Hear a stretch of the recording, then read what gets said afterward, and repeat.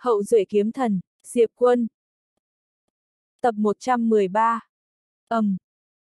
Trên trời, hai luồng kiếm quang chợt nổ tung, hai người đồng thời bay ra ngoài, cuối cùng cùng đập mạnh xuống đất, khiến mặt đất nứt lìa, hai người cùng nôn ra máu. Nhưng ngay sau đó, Phó Cát xoay người, cầm kiếm trong tay lao về hướng An Mộc Cẩn đang ở phía xa.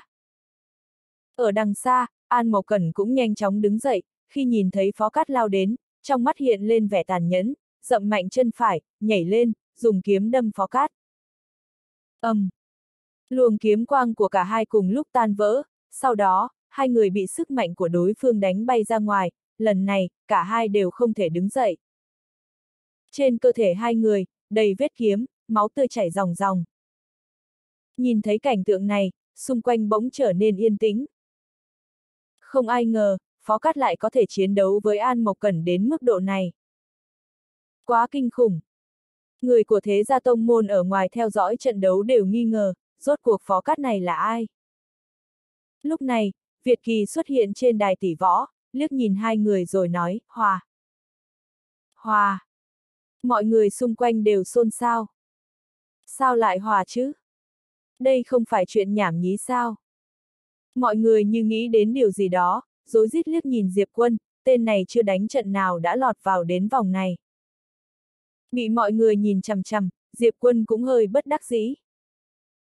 Việt Kỳ đột nhiên nói, dẫn bọn họ đi trị liệu vết thương. Nói xong, bà ấy xoay người rời đi. Tan cuộc. Diệp Quân lắc đầu cười, đi về phía Dương Di An ở trước mặt, hắn khẽ mỉm cười, ta nằm không cũng thắng. Dưỡng Di An chớp mắt, bọn họ đều không phải là đối thủ của huynh, phải không? Diệp quân xoa đầu Dương Di An, cười nói, đi, chúng ta đi gặp Phó Cát, sau đó ăn chút đồ ăn ngon.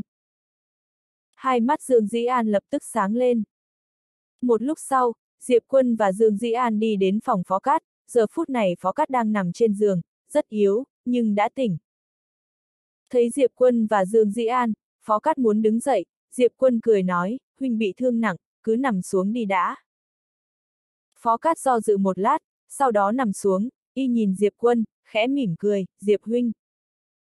Diệp Quân mỉm cười, đang định nói chuyện, bỗng nhiên có một ông lão bước vào. Diệp Quân nhìn ông lão, ông lão liếc nhìn hắn, rồi nhìn Phó Cát đang nằm trên giường, Phó công tử, ta là người nhà họ An. Nhà họ An. Ông lão nhìn Phó Cát, Phó công tử, bọn ta hy vọng ngươi sẽ tự nguyện từ bỏ thi đấu. Lông mày Diệp Quân liền nhíu lại. Phó Cát nghe ông lão nói vậy thì sững sờ, ông. Trưởng lão, Phó công tử, nhà họ An chúng ta không có ác ý với cậu, chỉ muốn cậu chủ động từ bỏ danh sách kia. Nếu cậu đồng ý. Ông ta vươn tay, gọi một chiếc nhẫn bạc xuất hiện trước mặt Phó Cát, bên trong là 10.000 linh tinh cực phẩm, một quyển kiếm kỹ cấp thiên, một thanh kiếm cấp linh, ba viên đan phá pháp, một viên đan phá kiếp, 10 bình đan dược chữa thương các loại. Phó Cát rơi vào im lặng. Tài nguyên trong chiếc nhẫn đủ cho y tu luyện tới tuế nguyệt tiên, đặc biệt là hai loại đan phá pháp phá kiếp kia vô cùng quý giá, có thể đạt đến 100.000 linh tinh cực phẩm. Chỉ cần y nhận lấy thì sẽ không phải lo vấn đề tài nguyên cho tới khi đạt đến tuế nguyệt tiên nữa. Đặt vào hoàn cảnh ở hệ ngân hà thì giống như nói bạn đừng thi vào đại học nữa, bù lại tôi cho bạn 30 triệu tệ nè. Diệp quân liếc nhìn ông lão. Phó Cát nói, nếu ta không chịu thì sao? Ông lão, sẽ không có gì cả, nhưng ta phải khuyên phó công tử một câu. Cậu còn rất trẻ, tiền đồ vô lượng, cần gì phải tranh thắng thua nhất thời. Tài nguyên trong nhẫn này đủ cho cậu luyện tới tuế nguyệt tiên, hơn nữa tuy cậu không thể trở thành thành viên chủ lực nhưng vẫn có thể dự bị chứ không mất mát gì. Quan trọng nhất là, ánh mắt ông ta nhìn y sâu thêm, ta được biết phó công tử và lệnh mẫu sống nương tựa nhau qua ngày. Bà ấy chưa từng có một ngày hưởng phúc, đến bây giờ vẫn phải dậy sớm làm lũng vất vả. Có chiếc nhẫn này, phó công tử có thể yên tâm tu luyện, bà ấy cũng được hưởng an bình. Phó Cát nhìn chiếc nhẫn, hai tay siết lại dưới chăn. Ông lão, nói thật với cậu, Mộc Cẩn còn một con bài tẩy trong tay, một khi thi triển thì cậu không phải đối thủ của nó. Nó không dùng đến là vì muốn để dành cho cuộc tranh tài Vạn Châu. Lão hủ lần này đến tìm cậu không chỉ vì nhà họ An mà còn vì Thanh Châu. Nhưng quyền lựa chọn nằm ở cậu, cho dù thế nào thì chúng ta cũng sẽ không ghi thù, cậu có thể yên tâm. Phó Cát bỗng nhìn sang Diệp Quân như xin giúp đỡ. Diệp Quân chỉ cười, chính ngươi phải lựa chọn thôi. Hai tay Phó Cát siết lại, sắc mặt như đang đấu tranh kịch liệt. Y không muốn nhận chiếc nhẫn, nhưng lý trí lại nói đây là lựa chọn tốt nhất. Diệp Quân nghĩ một hồi rồi đi tới lấy chiếc nhẫn, nói với ông lão chúng ta nhận. Phó Cát giật mình. Ông lão nhìn Diệp Quân rồi nói với Phó Cát, Phó Công Tử có người bạn thế này là vô cùng may mắn. Rồi rời đi. Ông ta hiểu Diệp Quân làm như vậy là vì không muốn tâm cảnh Phó Cát gặp chắc trở. Khó quyết định, vậy để ta. Phó Cát cũng hiểu vậy, bèn dương hai mắt đỏ ửng hỏi Diệp Quân, Diệp Huynh. Có phải Huynh xem thường ta không? Diệp Quân đưa nhẫn sang cho y, cười nói, đừng nghĩ nhiều vậy, ngay cả ta cũng sẽ làm thế thôi. Phó Cát khó tin, thật sao? Diệp Quân gật đầu, thật, kiếm tu cũng không phải thả gãy không cong, tóm lại chuyện lớn thì giữ vững nguyên tắc, chuyện nhỏ thì theo tình hình mà làm, hiểu chứ? Phó Cát gật lia lịa, ta hiểu rồi. Diệp Quân, vậy dưỡng thương cho tốt trước đi. Rồi kéo Dương Dĩ An rời đi. Phó Cát nhìn chiếc nhẫn, mỉm cười, con sẽ mua một căn nhà thật lớn và mở một tiệm bánh bao lớn nhất Thanh Châu cho mẹ nhé. Diệp Quân và Dương Dĩ An bước ra ngoài, đi một hồi thì Dương Dĩ An nghiêng đầu hỏi, Huynh thật sự sẽ chọn chiếc nhẫn sao? Diệp Quân gật đầu, ừ. Dương Dĩ An trợn tròn mắt. Diệp Quân cười cười xoa đầu cô bé, thật đấy. Dương Dĩ An gật đầu, ta tin. Diệp Quân bật cười, Tiểu Tháp hỏi, người sẽ chọn thật à? Diệp Quân gật đầu, ừ. Tiểu Tháp, vì sao? Diệp Quân, Tháp ra à, cái này mình phải so sánh bằng nhau. Ta từ chối được vì ta có thể, trước kia cũng vậy, bây giờ ta cũng có tháp ra. Tuy tu vì bị phong ấn nhưng ta không thiếu gì từ công pháp đến tài nguyên. Nhưng phó cắt thì sao? Y không có khả năng đó. Người sống ở tầng lớp dưới khổ lắm, ta không thể áp đặt suy nghĩ của mình lên họ được. Vì họ không có những gì ta có, mà thứ ta có cũng chẳng phải do ta tự mình có được. Tiểu tháp ngẫm nghĩ một hồi, đáp khá. Diệp quân cười cười. Tiểu tháp lại nói, người làm ta nghĩ tới chuyên gia. Diệp quân hỏi lại, chuyên gia. Tiểu tháp, ừ, một số người như thế sống trên cao mãi thành quen, hoàn toàn tách biệt khỏi những tầng lớp khác. Có người hỏi làm sao để tăng thu nhập cho người nghèo, hắn trả lời cho thuê nhà dư trong nhà để lấy tiền thế chấp. Diệp quân. Tiểu tháp, người như vậy một là xấu hai là ngu, hoặc cũng có thể là chưa bao giờ biết nghèo là gì, trong tư tưởng luôn cho rằng người nghèo ít nhất cũng có vài ba căn nhà. Diệp quân thì thầm, xem như một lời cảnh tỉnh cho ta. Bởi vì bản thân hắn cũng chưa chịu gian khổ gì. Ba đời trôi qua, người khổ nhất là ông nội. Tiểu tháp bỗng động viên, cố lên. Bây giờ nó mới tin rằng tiểu tử này có thể lập ra một trật tự hoàn toàn mới.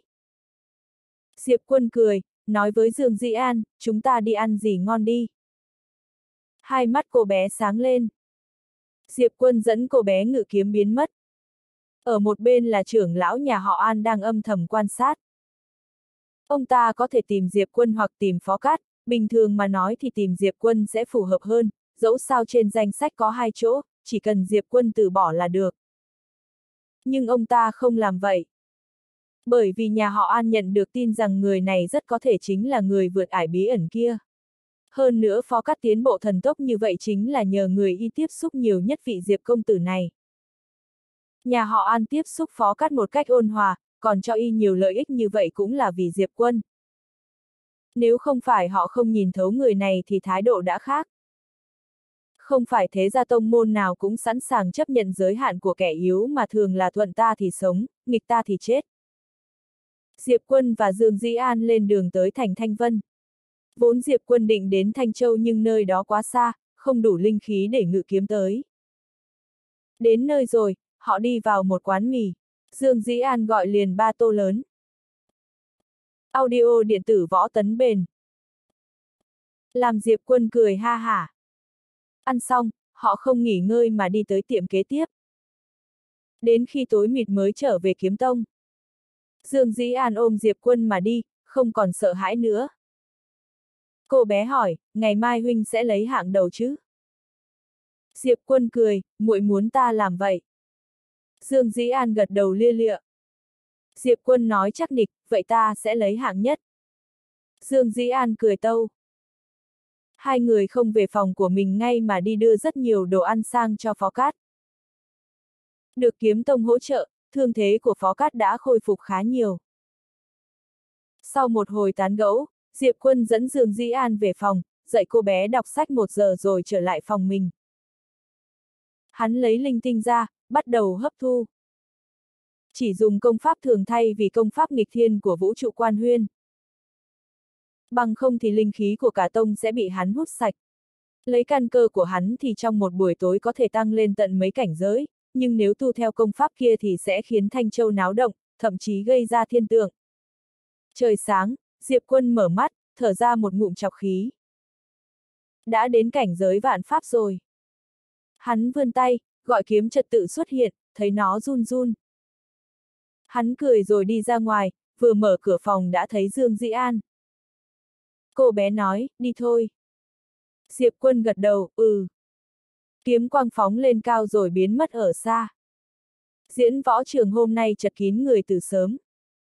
Ai nấy đều muốn xem Phó Cát và An Mộc Cẩn ai sẽ chiến thắng, đại diện Thanh Châu đi thi đấu Vạn Châu. An Mộc Cẩn có mặt từ sớm, mắt nhắm hờ, tay phải cầm kiếm. Một tia kiếm quang rơi xuống, không phải Phó Cát mà là đại trưởng lão kiếm tông. Ông ta nói với An Mộc Cẩn, Phó cắt chủ động từ bỏ quyền thi đấu. Bên dưới ổ lên. An Mộc Cẩn mở bừng mắt, đại trưởng lão, y. Ông lão lại nhìn sang Diệp Quân, Diệp công tử lên đi. Hắn gật đầu rồi ngự kiếm đến đối diện An Mộc Cẩn. Vua dựa dẫm cố lên. Không biết ai ở dưới la lên. Diệp Quân. Tiểu tháp. Vua dựa dẫm cố lên. Diệp Quân xoay lại với gương mặt ngơ ngác, cố tìm xem ai là người vừa lên tiếng nhưng thất bại. Nhìn khắp một vòng cũng không thấy ai khả nghi. Chẳng lẽ nghe nhầm rồi? Diệp Quân hỏi, tháp ra, ta nghe lộn hả? Tiểu tháp, chắc là không đâu. Diệp Quân, người cũng nghe thấy. Tiểu tháp, có lẽ vậy. Diệp Quân nhìn quanh, chỉ thấy khán giả đang gieo hò cổ vũ cho An Mộc Cẩn. Không thấy người quen, cũng không thấy ai kỳ lạ. Hắn lại hỏi, có khi nào nhầm thật không tháp ra? Tiểu tháp nói sau một hồi trầm tư, cũng có thể vậy thật. Diệp quân lắc đầu cười. Hắn đang được tỉnh tông chủ che giấu giúp, làm gì có ai phát hiện được, chắc chỉ là nghe nhầm rồi. Hắn ngẩng đầu nhìn đối thủ, sắc mặt An Mộc Cần không được đẹp lắm khi hiểu ra vì sao Phó Cát lại từ bỏ tranh tài. Y lạnh lùng chừng mắt nhìn đại trưởng lão trong dòng họ. Ông ta chỉ im lặng không nói. An Mộc Cần quay lại nói, Diệp huynh thắng rồi. Sau đó xoay người đi xuống. Để bốn phía ổ lên. Không ai hiểu gì hết. Chuyện gì vừa xảy ra vậy? Đại trưởng lão nhà họ An sầm mặt. Gian lận. Có người bất ngờ la lên. Chắc chắn là gian lận ta dám chắc thằng khốn họ Diệp kia nhúng tay vào cuộc tranh tài, sai thì ta ăn cứt. Chơi ạ, à, không ngờ kiếm tu lại chơi như vậy. Phó cắt bỏ cuộc thì thôi, tới An Mộc Cẩn cũng. Nói trước, ta không nói họ Diệp nhé. Thiên đạo bất công, ông trời không có mắt. Hồi xưa viện trưởng cũng bị bất công khi thi đấu Vạn Châu, vì quá phẫn nộ nên đã lập ra trật tự. Viện trưởng lòng mang ý khắp thiên hạ, cứu rỗi chúng sinh, vậy mà chưa được bao năm mà có kẻ dám trắng trợn gian lận giữa ban ngày ban mặt thế này. Chẳng lẽ hắn nghĩ viện trưởng chết rồi chắc? Thằng khốn họ Diệp lạ lắm, chắc chắn nó có chống lưng. Phải bắt kiếm tu điều tra kỹ càng, tóm gọn thế lực sau lưng hắn, trả lại thiên địa trong sạch. Tiếng chửi bới vang lên bốn phía. Khi nghe tin phó cắt bỏ cuộc thì họ đã nghi rằng có gì đó mở ám, bây giờ An Mộc Cẩn cũng không thi nữa thì chắc chắn là có gì đó không đúng. Chưa kể tên nào đó hai lần liên tục rút chúng vé trống, có mù cũng phát hiện chuyện gì đang xảy ra. Tiếng mắng chửi ngày càng lớn, dồn dập như sóng chiều.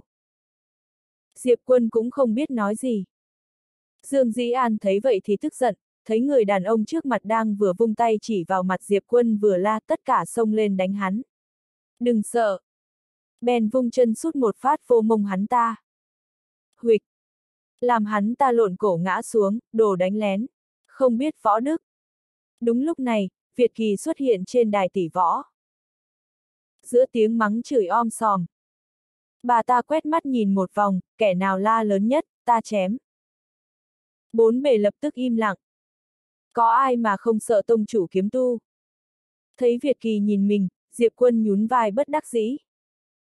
Ta có biết gì đâu. Việt Kỳ lại nói với mọi người, ai không phục hắn có thể lên đây khiêu chiến. Có ta. Đã có một kiếm tông trẻ tuổi tung người lên đài, đứng đối diện Diệp Quân. Y nói, ta biết người có người chống lưng nhưng ta không sợ. Người có giỏi thì gọi người ra. Diệp Quân liếc y, ra tay đi. Kiếm tông ngự kiếm bay lên, vung kiếm chém ra. Diệp Quân bước tới, không rút kiếm. Chưa ai kịp nhìn rõ thì kiếm tông thiếu niên kia đã bay ngược ra mấy chục trượng, ngã huịch xuống đất, mồm phun máu tươi. Ai nấy đều hoảng sợ. Hình như người này có bản lĩnh thật. Kiếm tông trẻ kia thì ngu người. Sao tự dưng y lại bay ra ngoài? Diệp quân hỏi, đánh tiếp không? Kiếm tông vội vàng bò dậy, lau vết máu đi, nói, thì ra là giả heo ăn hổ, thất kính rồi. Rồi ôm quyền rời đi. Diệp quân lắc đầu cười. Những người khác bây giờ mới nhìn ra hắn chỉ đang giả vờ thôi. Bỗng có một người thanh niên xuất hiện trên đài, vóc dáng cao to trông giống thể thu hơn là kiếm tông. Khá là hiếm thấy. Người thanh niên nói với Diệp quân, xin chỉ giáo. Rồi y lao tới như con bò mộng nổi điên. Diệp quân tung người nhảy lên, giơ chân đạp mạnh xuống. Quỳnh! Người thanh niên gục ngay tại chỗ, thân thể còn phát run. Diệp quân lắc đầu nói, sức mạnh khá tốt, tốc độ thì chưa. Người thanh niên mất một hồi lâu mới bỏ dậy, nhìn lên với vẻ không phục rồi tung ra cú đấm. Quyền phong chấn động với sức mạnh kinh người. Nhưng tốc độ ra đòn trong mắt Diệp quân lại chẳng khác gì rùa bò. Hắn dễ dàng tránh né rồi dùng tay làm kiếm, ấn vào vai người thanh niên. Quỳnh! Y bay ngược ra ngoài, té hụt xuống. Lại thất bại. Bốn phía im lặng lạ thường. Vì khán giả đã nhận ra người này có tài thật. Việt Kỳ nhìn người thanh niên đã bất tỉnh, lại hỏi còn ai nữa không? Không ai lên tiếng. Việt Kỳ, vậy người này sẽ đứng đầu bảng xếp hạng nội môn. Ta phản đối. Một thiếu niên áo đen bất ngờ xuất hiện trên đài, nhưng chưa kịp mở miệng thì Diệp Quân đã biến mất. Thiếu niên hốt hoảng muốn ra tay, chỉ một giây sau đã bay ra mấy chục trượng, ngã xuống đất co quắp trong cơn hôn mê. Diệp Quân nhìn xung quanh, ai phản đối nữa. Hắn biết mình cần phải ra tay dứt khoát để bọn họ sợ, bằng không sẽ càng phiền toái. Những người khác chố mắt nhìn nhau, không ai hó hé gì. Việt Kỳ vươn tay đẩy một chiếc nhẫn sang cho Diệp Quân, phần thưởng của hạng nhất nằm trong đây. Rồi bà ta biến mất. Diệp Quân nhìn vào trong, thấy một quyển kiếm kỹ cấp thiên, 2.000 viên linh tinh cực phẩm, một chút đan được, quý giá nhất là đan phá cảnh giúp tăng cảnh giới. Hắn thu nhẫn vào, ngự kiếm bay tới chỗ Dương Dĩ An, thấy cô bé cười tâu nói, hạng nhất. Diệp quân cười, nhưng mà hơi bịp. Rồi kéo Dương Dĩ An lên, biến mất ở nơi xa. Hai người đi đến nơi Phó cắt ở, lại phát hiện An Mộc Cẩn cũng ở đây. An Mộc Cẩn đang hỏi Phó Cát, hắn có uy hiếp ngươi không? Phó Cát lắc đầu, không có. An Mộc Cẩn nổi giận, vậy tại sao lại từ bỏ?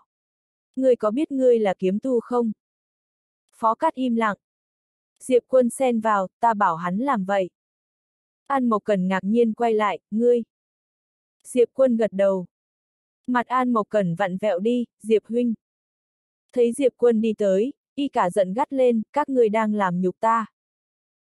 Dương Dĩ An lên tiếng, người phải đi tìm ông đại trưởng lão nhà họ An mới phải. Nhà phó cắt chỉ bán bánh bao, làm sao trọi lại với nhà các ngươi. Nhà họ An tới nói chuyện, y không biết thức thời thì ai biết còn bị gì đâu. An Mộc Cần ngẩn ra, đoạn gật đầu, cô nương nói phải. Rồi xoay người đi được mấy bước thì quay lại nói với Phó Cát, lần này ta từ bỏ vị trí chủ lực, người và Diệp Huynh tham gia đi. Phó Cát sững sờ, An Huynh. An Mộc cẩn lắc đầu, chuyện này là nhà chúng ta làm sai, thật xin lỗi ngươi, ta không biết bọn họ sẽ đến. Phó Cát vội nói, nhưng tỷ thí vạn châu này. An Mộc Cần ngắt lời y, nhà họ An làm vậy thật sự là không biết xấu hổ. Rồi ngự kiếm biến mất. Diệp quân kinh ngạc nhìn theo. Tiểu tháp, y. Diệp quân chỉ nhìn theo, không nói gì. An Mộc Cần tìm đến đại trưởng lão trong họ, thấy sắc mặt ông ta khó coi vô cùng, người có biết người đang làm gì không? Nhà chúng ta thế hệ này chỉ còn có ngươi, nếu từ bỏ thì không còn ai đại diện tham gia tỷ thí vạn châu nữa. An Mộc Cần quát lên, đại trưởng lão có nghe những gì ông đang nói không? Đại trưởng lão sừng sốt im bặt. An Mộc Cần trừng mắt, nhà chúng ta là gia tộc võ thần. Ông thử nghĩ xem tổ tiên mà biết chúng ta làm ra hành động này thì sẽ thấy thế nào. Họ sẽ xem thường chúng ta. Tỷ thí vạn châu quan trọng thật, nhưng thế thì sao? Ai bảo chúng ta phải thắng cho bằng được, mà có thắng cũng phải thắng quang minh chính đại chứ không phải dùng thủ đoạn hèn hạ này. Rồi tức giận rời đi. Đại trưởng lão quát theo, người có biết người đang làm gì không An Mộc Cẩn? An Mộc Cẩn dừng bước, hít một hơi thật sâu, ta biết đại trưởng lão muốn tốt cho dòng họ, nhưng nhà chúng ta thắng được, thua cũng phải chịu được. Đời trước đã từng khiến tổ tiên chịu nhục, chẳng lẽ đời này cũng phải vậy? Y lắc đầu, gia tộc võ thần có thể xa suốt nhưng không thể đánh mất liêm sỉ. Lần này ta không tham gia tỷ thí Vạn Châu, rồi dứt khoát biến mất nơi xa. Chủ động rút khỏi cuộc thi Vạn Châu. Sau khi nghe lời An Mộc Cần nói, sắc mặt đại trưởng lão của nhà họ An lập tức tái nhợt. Cuộc thi Vạn Châu. Đây không chỉ là một cuộc thi đấu, mà còn là một tấm vé, tấm vé đi tới tổng viện giống như An khinh Hàn, sau khi đạt được hạng nhất thì lập tức lên mấy, đến thẳng tổng viện, cuối cùng còn được làm chủ tịch võ viện. Mà nhà họ An cũng vì cô ấy mà nhận được vô số lợi ích. Nếu An Mộc Cẩn cũng có thể giành hạng nhất trong cuộc thi Vạn Châu thì chắc chắn cũng vào được Tổng viện Kiếm Tông, nhận được nhiều tài nguyên đào tạo hơn, đến lúc đó địa vị của nhà họ An ở Tổng viện sẽ lại được nâng cao. Có thể nói nhà họ An đang chơi một ván cờ lớn. Nhưng bà ta không ngờ An Mộc cần lại chủ động từ bỏ tư cách tham gia cuộc thi Vạn Châu. Đại trưởng lão tức giận quát, thiền cận, thiền cận. Nói xong bà ta hóa thành một đạo trường hồng biến mất ở nơi xa. Bà ta phải lập tức về bẩm báo với gia chủ nhà họ An chuyện này. Nhà họ An Gia chủ hiện tại của nhà họ An tên là An Lăng, là một người đàn ông trung niên khoảng 40 tuổi. Nghe đại trưởng lão nói xong, An Lăng trầm mặc một lát rồi bảo, để ta xem khinh hàn nói thế nào. Nói rồi ông lấy ra một lá truyền âm phù. Một lúc sau giọng của An khinh hàn vang lên trong truyền âm phù, Nam Nhi nhà họ An làm tốt lắm. Nghe thấy lời An khinh hàn nói, An lăng lắc đầu cười, nhìn đại trưởng lão, bà cũng nghe thấy rồi đấy. Đại trưởng lão do dự một chút rồi bảo, tộc trưởng, chuyện này. An lăng chợt hỏi, vì sao bà lại tự ý quyết định chuyện này? Sắc mặt đại trưởng lão thay đổi, bà ta vội khom người, tộc trưởng, chuyện này là do ta lỗ mãng. An lăng nhìn chằm chằm đại trưởng lão, nếu Mộc Cần thật sự giành được hạng nhất, bà nghĩ rằng đây là chuyện tốt đối với nhà họ An ư. Đại trưởng lão giật mình, nghi ngờ. An lăng khẽ thở dài, đương nhiên, nếu Mộc Cần thật sự có khả năng này thì với nó và với nhà họ An ta đương nhiên là chuyện tốt, nhưng chuyện gì cũng có hai mặt, lúc đó nhà họ An ta sẽ quá phô trương, tục ngữ có câu cây cao đón gió, nhà họ An ta bây giờ vẫn chưa có thực lực đối mặt với sóng gió dữ dội ở Tổng Việt, bà hiểu không? Đại trưởng lão do dự, tộc trưởng, vậy khinh hàn.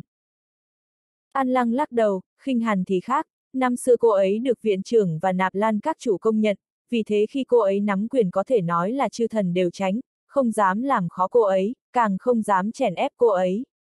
Và lại khinh hàn cũng thông minh, sau khi vào tổng viện, không tham gia vào bất kỳ cuộc tranh chấp phe phái nào, làm một cô thần, nhưng nếu nhà họ An ta lại có thêm một yêu nghiệt nữa thì nhà họ An chỉ có hai lựa chọn, hoặc là lôi kéo một số tập thể thế lực, hoặc là sẽ bị đàn áp, thậm chí là thiên tài sẽ bị chết hiểu. Sắc mặt đại trưởng lão thay đổi, tộc trưởng, vậy. An Lăng nhẹ nhàng nói, nơi nào có người, nơi đó có tranh đấu, huống hồ trong thư viện có biết bao tông môn thế gia, thư viện mở rộng quá nhanh, bánh kem càng ngày càng lớn, lợi ích cũng càng đáng sợ. Ai cũng muốn lấy được miếng bánh lớn nhất, thậm chí là toàn bộ. Nói xong ông lắc đầu, thôi vậy, đừng nhắc đến chuyện này nữa, nguy hiểm. Nói rồi trong mắt ông thoáng qua vẻ phức tạp. Nhà họ An bây giờ đã khác trước, bởi vì nhà họ An trước đây làm chuyện đó với Diệp Quân nên mấy năm nay hai vị võ thần không còn đến nhà họ An nữa, nếu không có chuyện đó, nhà họ An vẫn được võ thần trở che thì sao họ phải sợ những vòng xoáy này.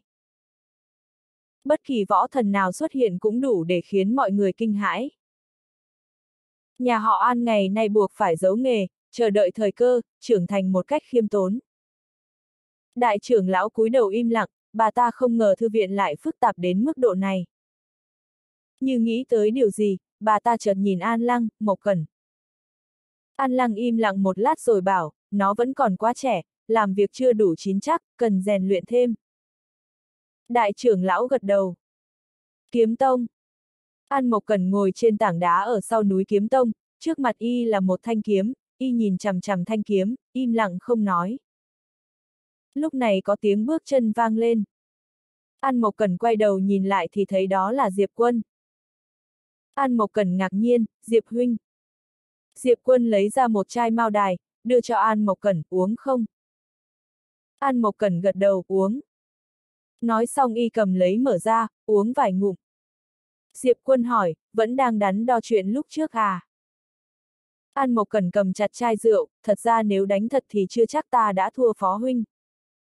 Diệp Quân gật đầu, ta biết.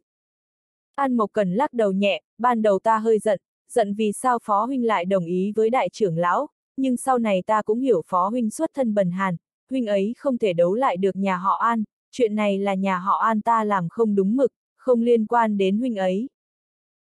Nói xong y nhìn Diệp Quân, Diệp Huynh, chúng ta cọ sát được chứ? Diệp Quân cười, Huynh chắc chứ? An Mộc Cẩn gật đầu, so với Phó Huynh, ta càng muốn so chiêu với Diệp Huynh hơn. Diệp Quân gật đầu, được. An Mộc Cẩn cầm kiếm dưới đất lên, đứng dậy, nhìn Diệp Quân, Diệp Huynh, cẩn thận nhé. Dứt lời, y biến mất tại chỗ. Phập. Tiếng kiếm gãy đột nhiên vang lên. Xa xa, Diệp Quân rút kiếm trật tự của mình ra, hắn cầm kiếm đâm về phía trước, vừa khéo đâm vào vị trí cách mũi kiếm An Mộc Cẩn một tấc. ầm. Um. Sức mạnh trong kiếm của An Mộc Cẩn lập tức bị rút đi 9 phần, đồng thời kiếm của y bị lệch, suýt chút nữa bay ra khỏi tay. An Mộc Cẩn kinh hãi, cầm kiếm mau chóng lùi lại phía sau. Sau khi dừng lại, y nhìn Diệp Quân, trong mắt đầy vẻ kinh hoàng, Diệp Huynh, Huynh. Diệp Quân cười, tiếp tục. Vẻ mặt An Mộc Cẩn trở nên nghiêm nghị, lần này y không dám khinh thường nữa, cầm kiếm giơ cao lên trước chán, hai mắt chậm rãi nhắm lại. Bùm! Một luồng kiếm thế mạnh mẽ quét ra từ cơ thể y, giây tiếp theo, y đột nhiên mở mắt, thanh kiếm trong tay rung lên, trong nháy mắt, y vụt đi như tia sét. Kiếm thuấn sát. Kiếm kỹ cấp thiên. Nhát kiếm này tập trung vào tốc độ, trong vòng 10 trượng, một kiếm là có thể giết được người. Mà lúc này, y và Diệp Quân cách nhau chỉ có mấy trượng, vì thế khi kiếm quang vừa xuất hiện, kiếm đã phóng tới trước mặt Diệp Quân. Diệp Quân cũng rút kiếm ra. Phập, kiếm quang vỡ tan, thoáng chốc, một bóng người liên tục lùi lại. Chính là An Mộc Cẩn, khoảnh khắc y dừng lại, một thanh kiếm đã ở ngay trước chán y. An Mộc Cẩn khó tin nhìn Diệp Quân gần ngay trước mắt, Diệp Huynh, Huynh. Lúc này trong lòng y thực sự vô cùng chấn động, y biết người đàn ông trước mắt rất mạnh, thậm chí đã đoán được kẻ đột nhập ví ẩn lúc trước chính là người đàn ông này, nhưng y không ngờ hắn lại mạnh đến mức này. Thực sự mạnh tới khó tin. Diệp quân mỉm cười thu kiếm lại, có còn hứng thú luyện kiếm với ta nữa không? An Mộc Cần nhìn chằm chằm Diệp quân, Diệp huynh, rốt cuộc huynh là ai? Đương nhiên y hiểu Diệp huynh trước mắt này không phải người bình thường, thành tựu kiếm đạo này có lẽ cả kiếm tông chỉ vài người có thể so sánh được.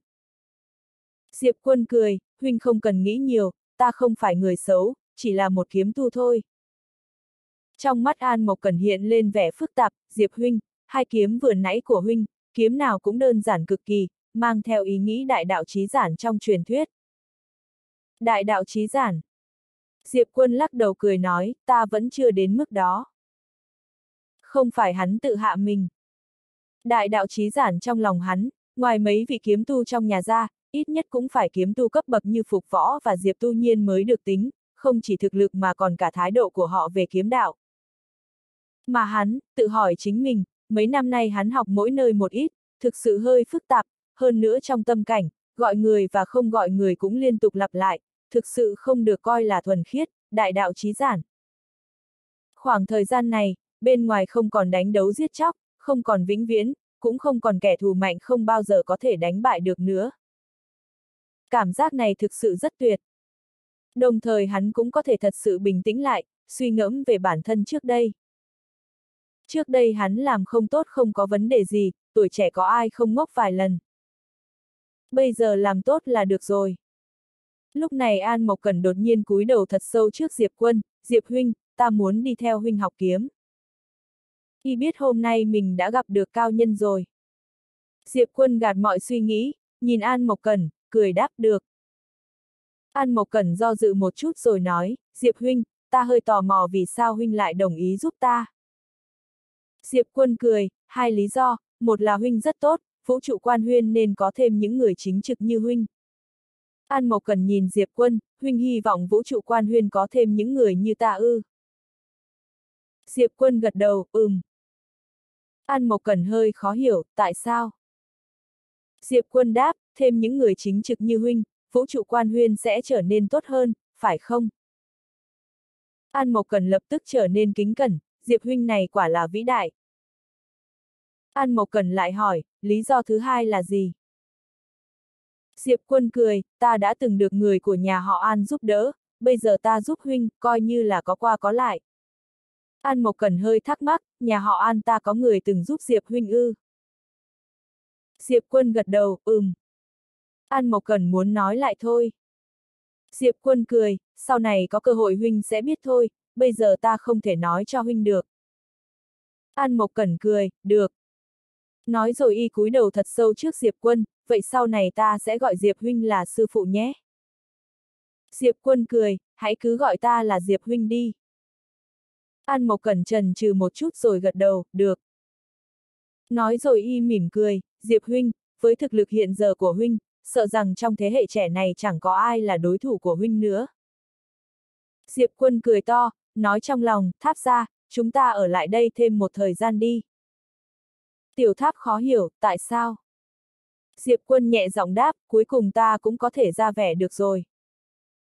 Tiểu tháp, cuối cùng cũng được thể hiện. Câu nói này của Diệp quân có hơi chua sót. Những năm này ở bên ngoài hầu như cứ năm ngày ba bữa, hắn lại bị đánh, kẻ thù lúc nào cũng mạnh hơn hắn rất nhiều. Thể hiện. Mơ đi.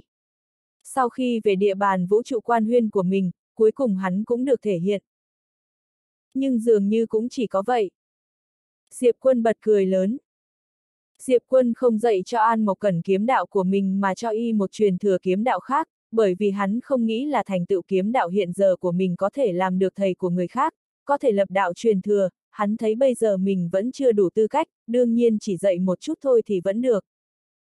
Mà trong quá trình được Diệp Quân chỉ dạy, An Mộc Cần lại càng ngưỡng mộ kính nể Diệp Quân, bởi vì Diệp Quân luôn có thể chỉ ngay ra vấn đề trước mắt của y, đồng thời còn có thể sửa lại được. Quá kinh khủng! An Mộc Cần thật sự tâm phục khẩu phục, đương nhiên y càng thấy may mắn vì mình đã gặp được cao nhân tuyệt thế như này. Sau khi chỉ dạy cho An Mộc Cần xong thì trời cũng tối, Diệp Quân rời khỏi núi sau, buổi tối là thời gian Dương Dĩ An học bài. Dương Dĩ An đã ôm sách chờ hắn ở cửa trạch viện. Thấy Diệp Quân đến, trên mặt Dương Dĩ An nở một nụ cười. Diệp Quân ngồi xuống bên cạnh Dương Dĩ An, cô bé lập tức mở quyển sách cổ trong tay ra, chỉ vào một đoạn, vừa nãy ta đọc đến đoạn này không hiểu lắm. Diệp Quân nhìn chỗ Dương Dĩ An chỉ, mỉm cười nói, núi không thể từ chối mầm nhỏ nên mới cao lớn được như vậy, sông lớn không chê suối hẹp nên mới có thể mênh mông, con đường tu luyện cũng như vậy, mỗi một điều nhỏ nhặt trong cuộc sống cũng là một kiểu tu hành. Dương Dĩ An chợt nghiêng đầu nhìn Diệp Quân, không nói gì. Dưới ánh trăng, hai người ngồi cạnh nhau, một người tập trung đọc sách, người kia tập trung giảng dạy. Ngày hôm sau, sáng sớm, Diệp Quân đã được mời đến Tông Chủ Các, vừa vào Tông Chủ Các, hắn đã gặp Việt Kỳ và Ngu Ngưng. Việt Kỳ nhìn Diệp Quân, ngươi là Diệp Dương. Diệp quân gật đầu, phải. Việt Kỳ nhìn hắn không nói gì, một luồng uy áp vô hình ập tới. Diệp quân đứng yên bất động. Đột nhiên, Việt Kỳ biến mất tại chỗ. Diệp quân cao mày, với thực lực hiện giờ của mình, hắn không thể tránh được nhát kiếm này, cũng không thể đỡ được, vì thế hắn lựa chọn không phản kháng. Bởi vì hắn không cảm nhận được sát ý trong nhát kiếm này. Kiếm của Việt Kỳ dừng lại khi cách lông mày của Diệp Quân nửa tấc, mà vẻ mặt Diệp Quân bình tĩnh như nước, không chút dao động. Thấy vậy, ngu ngưng nhìn Diệp Quân thật sâu. Việt Kỳ nhìn Diệp Quân, vì sao không tránh? Diệp Quân lắc đầu, không tránh được. Việt Kỳ nhìn thẳng vào Diệp Quân hồi lâu rồi thu kiếm, rốt cuộc ngươi là ai? Diệp Quân cười nhẹ, Diệp Dương. Việt Kỳ lại hỏi, thân phận thật sự. Diệp Quân vẫn đáp, Diệp Dương. Việt Kỳ nhìn hắn chăm chú. Diệp Quân suy nghĩ một lúc rồi bảo, Việt Tông chủ, bà sợ ta gây bất lợi cho kiếm tông hay là gây bất lợi cho thư viện?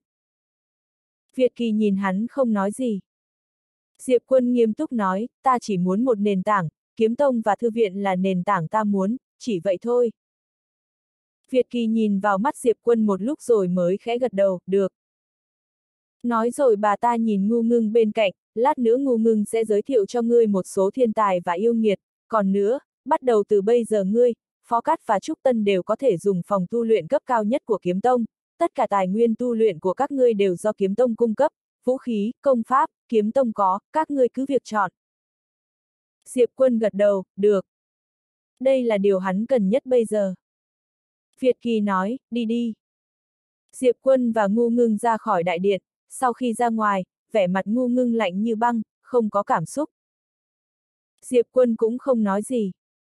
Cứ thế, hai người im lặng đi một lúc, ngu ngưng bỗng dừng lại quay người nhìn Diệp quân, sau đó ném cho hắn một quyển trục, trong này có thông tin của thiên tài hàng đầu các châu lớn, người có thể xem của Nam Châu kỹ hơn, đối thủ mạnh nhất của chúng ta lần này là Nam Châu. Nói xong cô ấy quay người rời đi. Diệp quân đột nhiên gọi, ngu cô nương. Ngu ngưng nhìn hắn, Diệp quân cười, có thể nói cho ta thêm về Nam Châu không?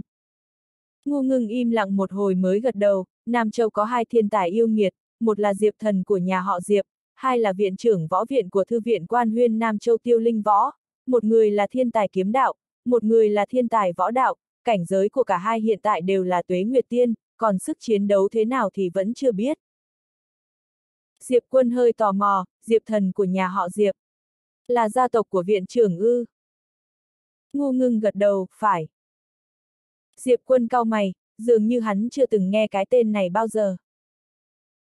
Ngô ngưng nói tiếp, Diệp thần này rất không đơn giản, nghe nói có một sư phụ bí ẩn, nhưng người đó là ai thì không tra ra được. Tiêu linh võ kia cũng không đơn giản, được mệnh danh là người có võ đạo chỉ đứng sau An khinh Hàn trong lịch sử Vạn Châu, võ viện của Tổng viện đã bắt đầu đào tạo trước, giống như Diệp Trúc Tân vậy. Diệp quân nhìn ngu ngưng, đào tạo trước. Ngô ngưng gật đầu, một số thiên tài xuất sắc sẽ được Tổng viện chú ý, không chỉ được chú ý, còn được các phe phái lớn chú ý. Nói đến đây, cô ấy đột nhiên dừng lại. Diệp quân tò mò, thư viện có phe phái ư. Ngu ngưng không nói gì. Diệp quân lại hỏi, ngu cô nương, có thể nói cho ta được không? Ta rất muốn biết thư viện có những phe phái nào.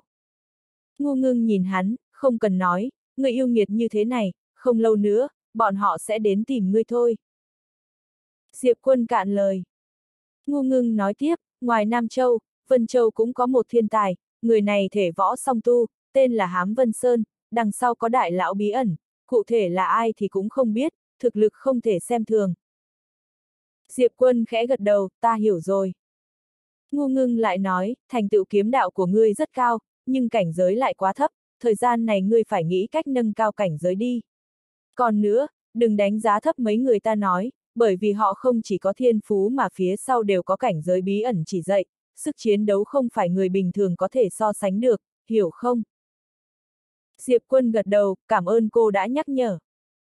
Tuy hắn tự tin vào bản thân nhưng cũng sẽ không đánh giá thấp người khác, chủ yếu là sợ lật thuyền trong mương, nếu thua mấy tên thế hệ trẻ này thì đúng là không còn mặt mũi nào khôi phục thân phận nữa. Ngô ngưng nói, đi, ta đưa ngươi đến nơi thu luyện. Nói xong cô ấy ngự kiếm bay đi. Diệp quân thầm nhẩm niệm rồi cũng ngự kiếm bay theo ngu ngưng đến một tinh không. Họ vừa vào tinh không, từng trận pháp dịch chuyển đã xuất hiện trước mặt hắn và ngu ngưng. Ngu ngưng nói, chọn một đi. Diệp quân gật đầu, được. Nói xong hắn đi vào trận pháp dịch chuyển gần nhất, vừa vào hắn đã được đưa tới một nơi đặc biệt. Linh khí ở đây gấp 10 lần bên ngoài. Diệp quân nhếch miệng, vừa đủ để tu luyện. Những ngày tiếp theo, ban ngày Diệp quân tu luyện và chỉ dạy kiếm đạo cho An Mộc Cẩn, tối đến thì dạy Dương Dĩ An học. Điều đáng nói là thực ra hiện giờ Dương Dĩ An đã đạt đến cảnh giới tiên thiên. Một tháng sau, tu luyện ở nơi đặc biệt đó, lại thêm linh tinh, hắn cũng đã đạt tới cảnh giới thiên pháp, có thể nói tốc độ đột phá hiện giờ của hắn vô cùng nhanh, đến Việt Kỳ và Ngu Ngưng cũng kinh ngạc, thật ra hắn vẫn cố ý kìm lại, bởi vì hắn muốn vững vàng hắn trong mỗi cảnh giới, nếu không còn có thể nhanh hơn nữa. Thiên phú của hắn cực kỳ cao, trước đây hắn cũng đã từng đi qua nên tu luyện cảnh giới đối với hắn không quá khó khăn. Thời gian trôi qua rất nhanh, chớp mắt lại một tháng nữa đã trôi qua. Cuộc thi Vạn Châu đang đến gần. Còn ba ngày nữa là tới cuộc thi Vạn Châu, cả Thanh Châu đều trở nên náo nhiệt, mỗi ngày trận pháp dịch chuyển của Thanh Châu đều quá tải. Những người đến đều là thiên tài của các châu, còn có những người đến xem chiến. Thanh Châu sôi động hơn bao giờ hết. Để ngăn chuyện ngoài ý muốn xảy ra, thậm chí Thư viện Thanh Châu còn xin Tổng viện điều quan huyên vệ tới giữ trật tự. Giữa tinh không, Diệp quân ra khỏi trận pháp dịch chuyển, hắn hít sâu một hơi, một luồng khí mạnh mẽ tuôn ra từ cơ thể hắn. Bây giờ hắn đã đạt tới cảnh giới nhân tiên. Trong thời gian tu luyện này, hắn đã có những tiến bộ lớn trong cảnh giới. Tiếc rằng kiếm ý trật tự của hắn vẫn luôn chỉ là cấp bậc kiếm tu, không tiến bộ, hơn nữa hắn cũng không thể cố ý nâng cao. Đột nhiên Diệp quân ngự kiếm biến mất tại chỗ, hắn đến trạch viện của mình, Dương Dĩ An vội buông quyển sách trong tay xuống, chạy đến trước mặt hắn cười bảo, nghe nói thời gian này cả Thanh Châu đều vô cùng náo nhiệt, chúng ta đi dạo quanh có được không? Diệp quân cười, được. Dương Dĩ An cười vui vẻ, cực kỳ phấn khởi. Diệp ca. Lúc này một giọng nói đột nhiên vang lên. Diệp quân quay đầu lại nhìn thì thấy phó cắt chậm chậm đi tới, sau khi được kiếm tông đào tạo, bây giờ phó cắt đã đạt tới cảnh giới đạo tiên, chỉ sau An Mộc Cần và Diệp Trúc Tân ở cảnh giới tuế nguyệt tiên. Phó cắt nhìn Diệp quân và Dương Dĩ An, cười hỏi, hai người định đến Thanh Châu à? Diệp quân gật đầu cười đáp, phải, đến đó chơi. Phó Cát vội nói, vậy tới nhà ta chơi đi. Mẹ ta vẫn luôn nói muốn được tiếp đón mọi người. Diệp Quân và Dương Dĩ An nhìn nhau, Diệp Quân đáp, được. Thấy Diệp Quân đồng ý, Phó Cát rất hưng phấn, đi thôi Diệp ca. Nói xong y ngự kiếm biến mất ở cuối bầu trời. Diệp Quân mỉm cười, sau đó cũng dẫn Dương Dĩ An ngự kiếm bay đi. Thành Thanh Châu. Trong một căn nhà đơn sơ, Diệp Quân và Dương Dĩ An ngồi cạnh nhau, trên bàn bày đầy đồ ăn có thịt có rau, vô cùng phong phú, còn có cả bánh bao hấp. Trước mặt họ là một người phụ nữ trung niên. Người phụ nữ nhìn Diệp Quân và Dương Dĩ An, có phải chúng ta đã từng gặp nhau rồi không? Diệp Quân không nói gì. Dương Dĩ An cũng không lên tiếng. Diệp Quân và Dương Dĩ An như ngồi bàn trông. Khi xưa họ từng cướp bánh bao của người khác. Nhất là Dương Dĩ An, tay trái ôm chặt cánh tay Diệp Quân, cúi đầu không nói gì. Bởi vì cô bé không chỉ cướp một lần mà là rất nhiều lần. Thấy vẻ mặt người phụ nữ và phó cát hơi nghiêm nghị, Diệp Quân cười, hình như chưa gặp bao giờ. Thím Kiều cười, vậy có lẽ là ta nhớ nhầm rồi. Nói rồi bà ấy đột nhiên kéo phó cát đang ngồi bên cạnh đứng lên, sau đó quỳ trước Diệp Quân và Dương Dĩ An. Diệp Quân vội vàng đứng lên, nâng lòng bàn tay, một lực nhẹ nhàng nâng hai người dậy. Diệp quân sửng sốt, thím kiều, thím làm gì vậy? Thím kiều nghiêm túc nói, Diệp công tử, phó cát nhà ta nói với ta nó có thể đại diện cho Thanh Châu xuất chiến hoàn toàn là nhờ cậu, nếu không có cậu thì không có nó, ta chỉ là một người phụ nữ, không hiểu gì về người thu luyện, ta, ta lại cậu.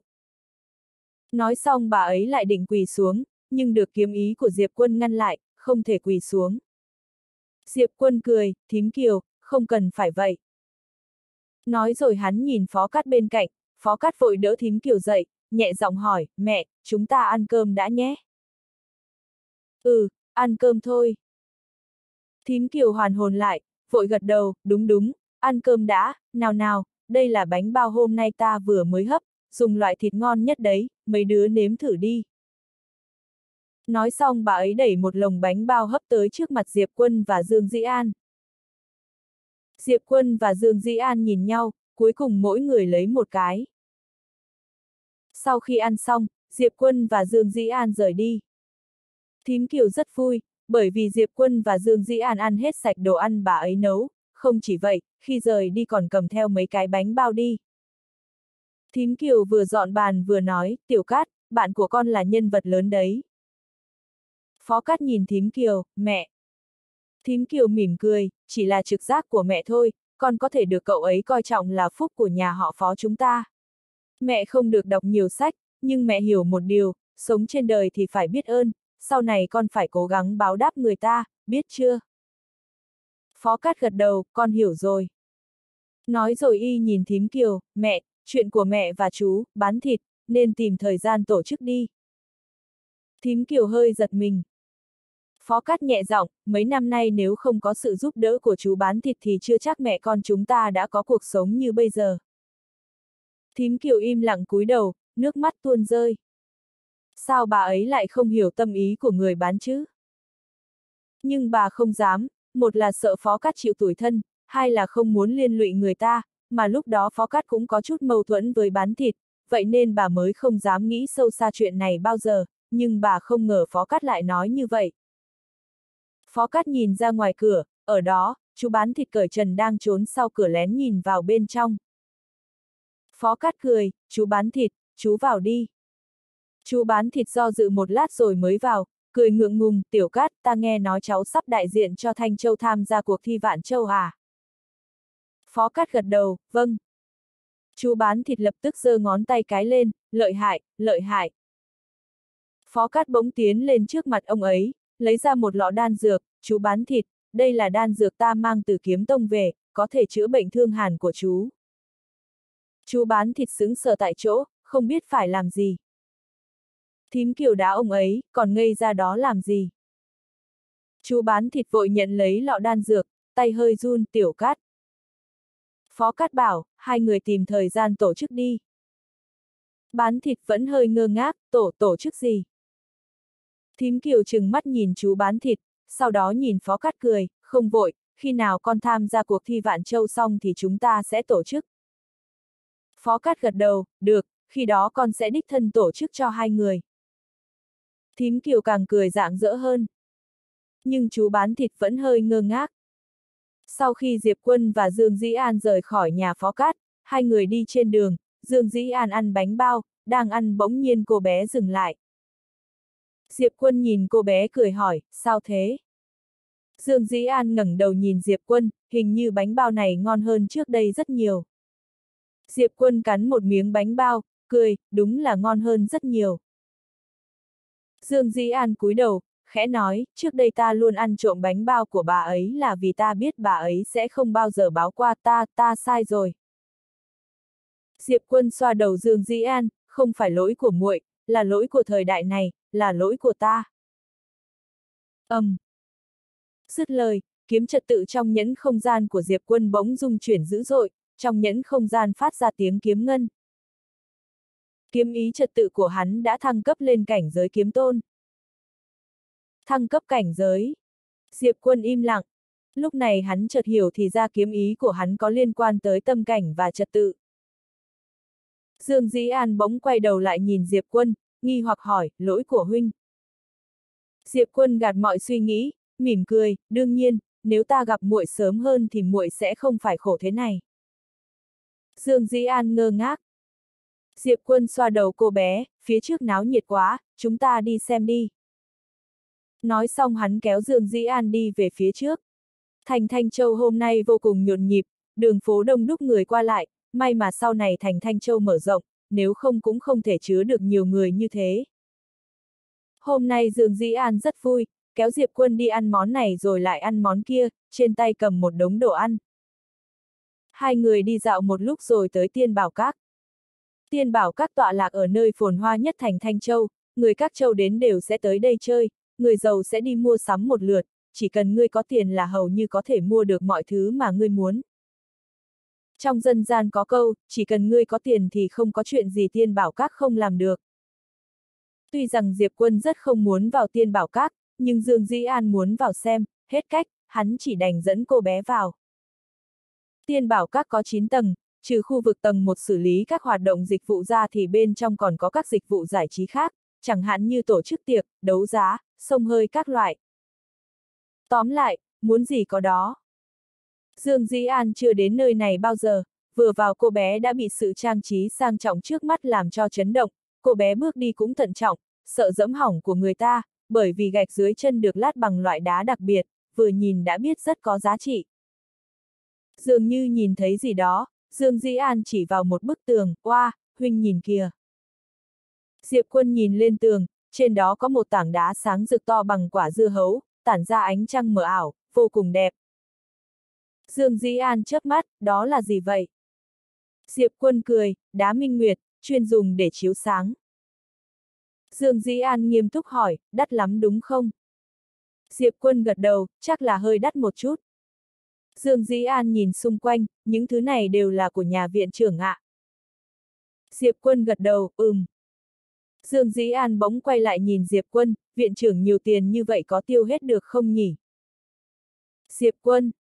Dương Dĩ An cười khúc khích, chắc chắn là tiêu không hết, thật muốn được tiêu giúp hắn. Diệp quân cười to, sau này sẽ có cơ hội ha ha. Hai người đi dạo tới tầng 2, nhưng đang định đi vào thì bị một quản sự ngăn lại.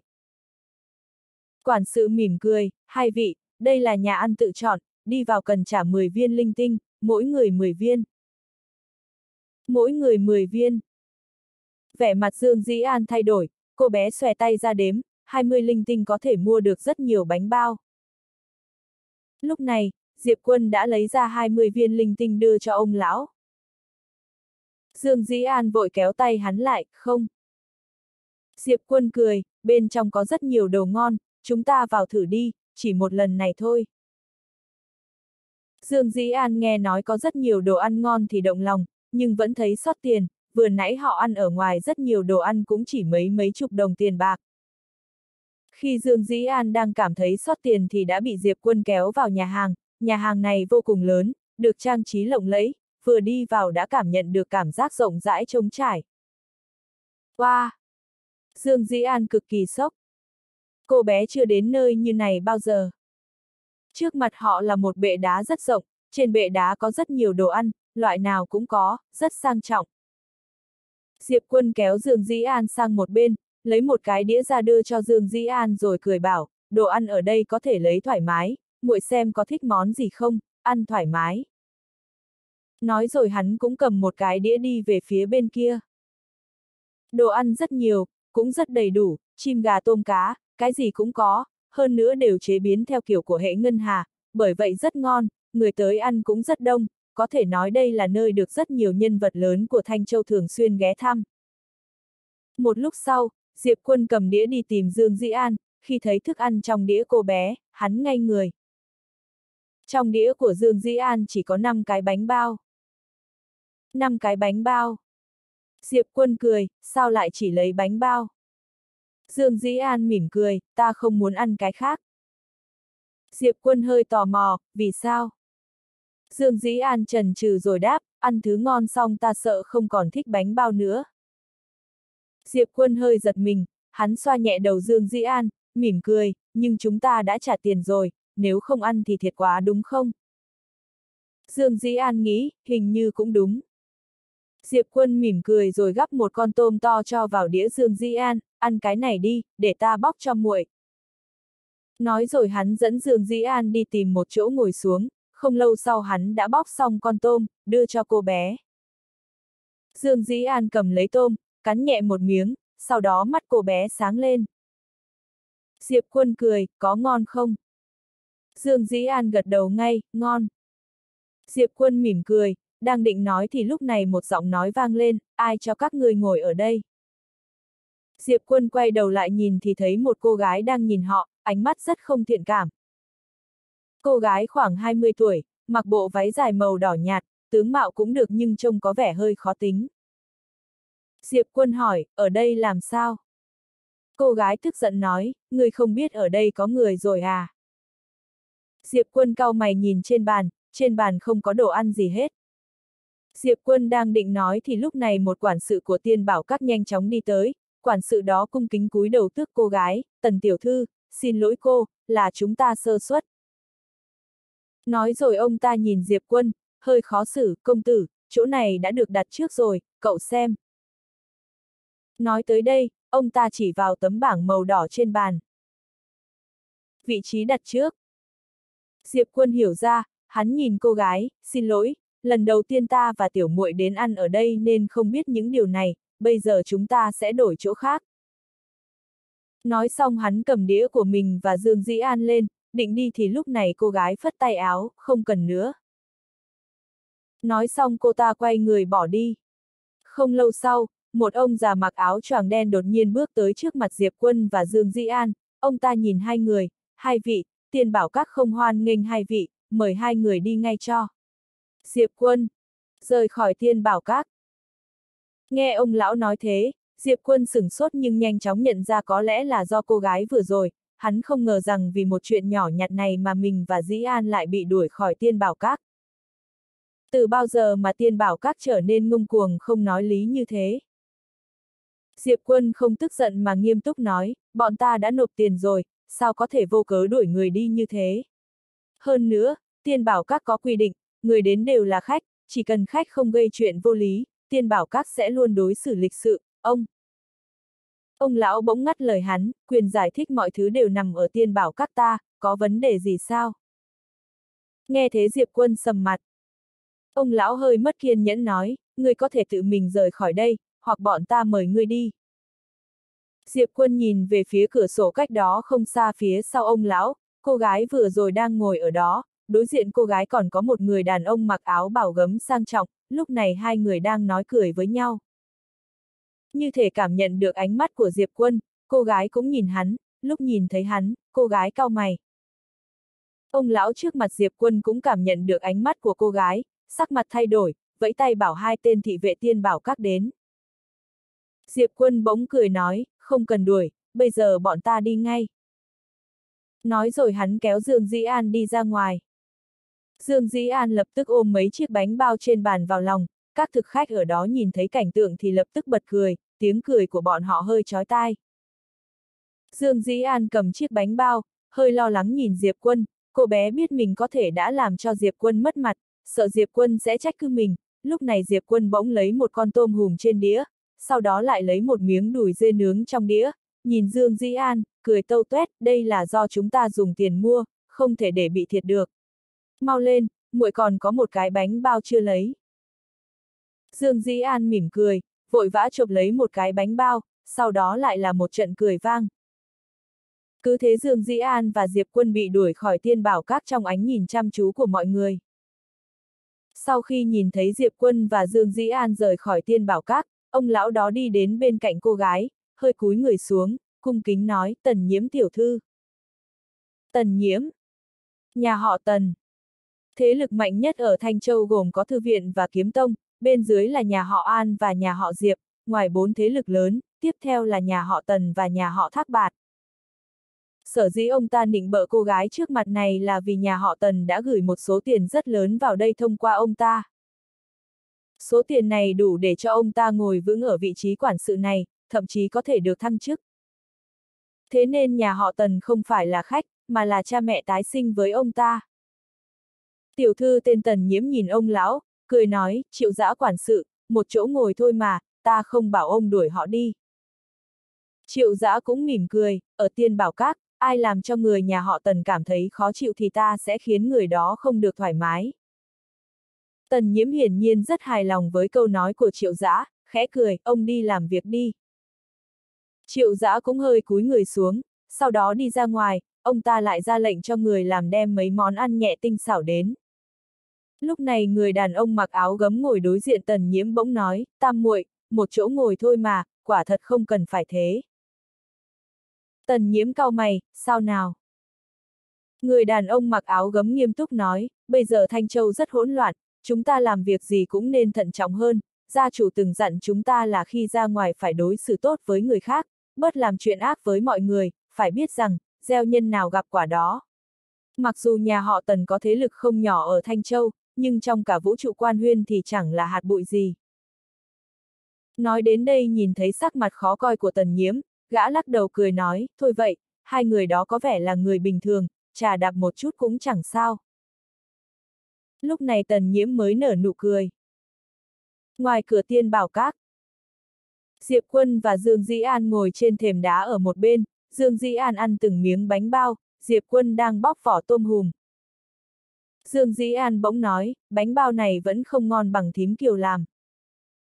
Diệp Quân quay đầu sang nhìn Dương Dĩ An, Dương Dĩ An nghiêm túc nói thật, không ngon bằng thím kiều làm, nhưng bên trong lại bán đắt thế. Diệp Quân cười nói, người giàu ăn uống không chú trọng có ngon hay không, mà người ta để ý đến kiểu cách sang trọng. Dương Dĩ An hơi thắc mắc, kiểu cách sang trọng, có ý gì? Diệp Quân ngẫm nghĩ rồi nói, tức là thể diện đó. Dương Dĩ An chớp mắt, ồ. Diệp Quân khẽ cười, xé một miếng tôm hùm đã được bóc xong rồi đưa cho Dương Dĩ An, ăn đi.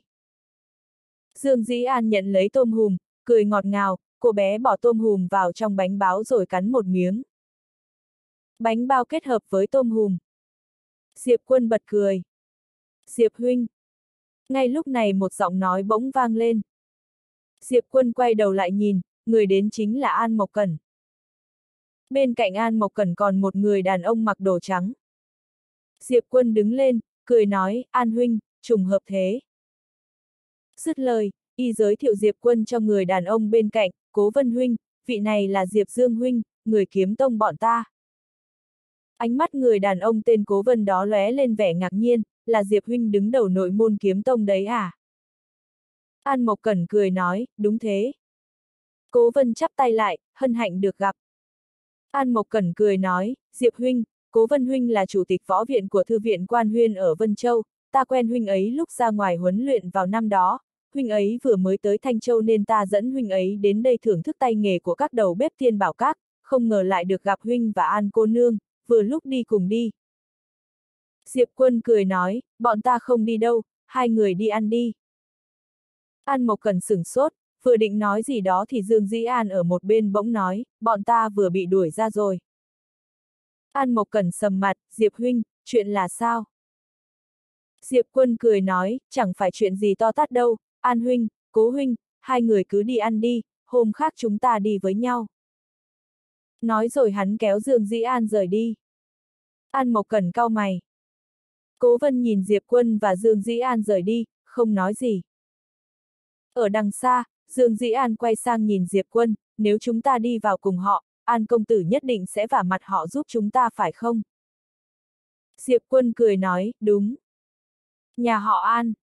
Mặc dù hắn không biết nhà họ Tần có cấp bậc gì nhưng chắc chắn nhà họ An và nhà họ Diệp mới là gia tộc đứng đầu ở Thanh Châu. Dương Dĩ An hơi ngờ vực, vậy tại sao chúng ta không đi vào với họ? Diệp Quân xoa đầu Dương Dĩ An, cười nói, bởi vì không giải quyết được vấn đề, chúng ta đã vào theo An Huynh, họ sợ nhà họ An, chắc chắn sẽ xin lỗi chúng ta, nhưng sau đó thì sao? Sau đó họ vẫn sẽ như thế. Giả vờ là một việc rất đơn giản nhưng chẳng có ý nghĩa gì, giải quyết vấn đề mới là ở gốc rễ, sau một ngày nào đó, chúng ta sẽ quay lại một bữa. Ta hiểu rồi. Dương Dĩ An bỗng nói, Huynh không muốn để người ta giả vờ, Huynh muốn mình quay lại giả vờ đúng chứ? Diệp quân sầm mặt, được lắm, muội thế mà còn hiểu rõ được suy nghĩ của ta, ta phải giết người diệt khẩu. Dương Dĩ An làm mặt xấu, ta không sợ đâu. Diệp quân bật cười. Hai người đi dạo trong thành, khoảng thời gian này thành Thanh Châu cực kỳ đông vui, người nô nức đi trên đường. Cứ cách một khoảng thời gian, trên đường lại có một đội quan huyên vệ tay cầm thương đi ngang qua. Thư viện quan huyên ở Thanh Châu vô cùng xem trọng an ninh, nếu xảy ra chuyện không hay gì ở thành Thanh Châu thì sẽ mất mặt cả Thanh Châu. Vì thế Thư viện quan huyên ở Thanh Châu không chỉ điều động quan huyên vệ từ Tổng viện đến mà còn điều động vài cường giả kiếm tu từ kiếm tông Thanh Châu đến, thế nên trên bầu trời thành Thanh Châu thỉnh thoảng có kiếm tu ngự kiếm bay ngang qua. Diệp quân cảm thấy bùi ngùi. Năm đó hắn tham gia thi đấu thượng giới, quy mô lúc đó không bằng 1% hiện giờ. Phải nói rằng mấy năm nay Thư viện Quan Huyên đã phát triển rất nhanh chóng, các nền văn minh võ đạo ở mỗi châu đều được cải thiện rất nhiều, yêu nghiệt và thiên tài cũng ngày càng nhiều. Đã có bảng thiên tài vạn châu rồi. Lúc này bỗng có người hét lên, sau đó mọi người đi chạy về phía cách đó không xa. Dương Dĩ An bỗng nói, đi thôi, chúng ta cũng đến xem thử. Nói rồi cô bé kéo Diệp Quân chạy về phía xa.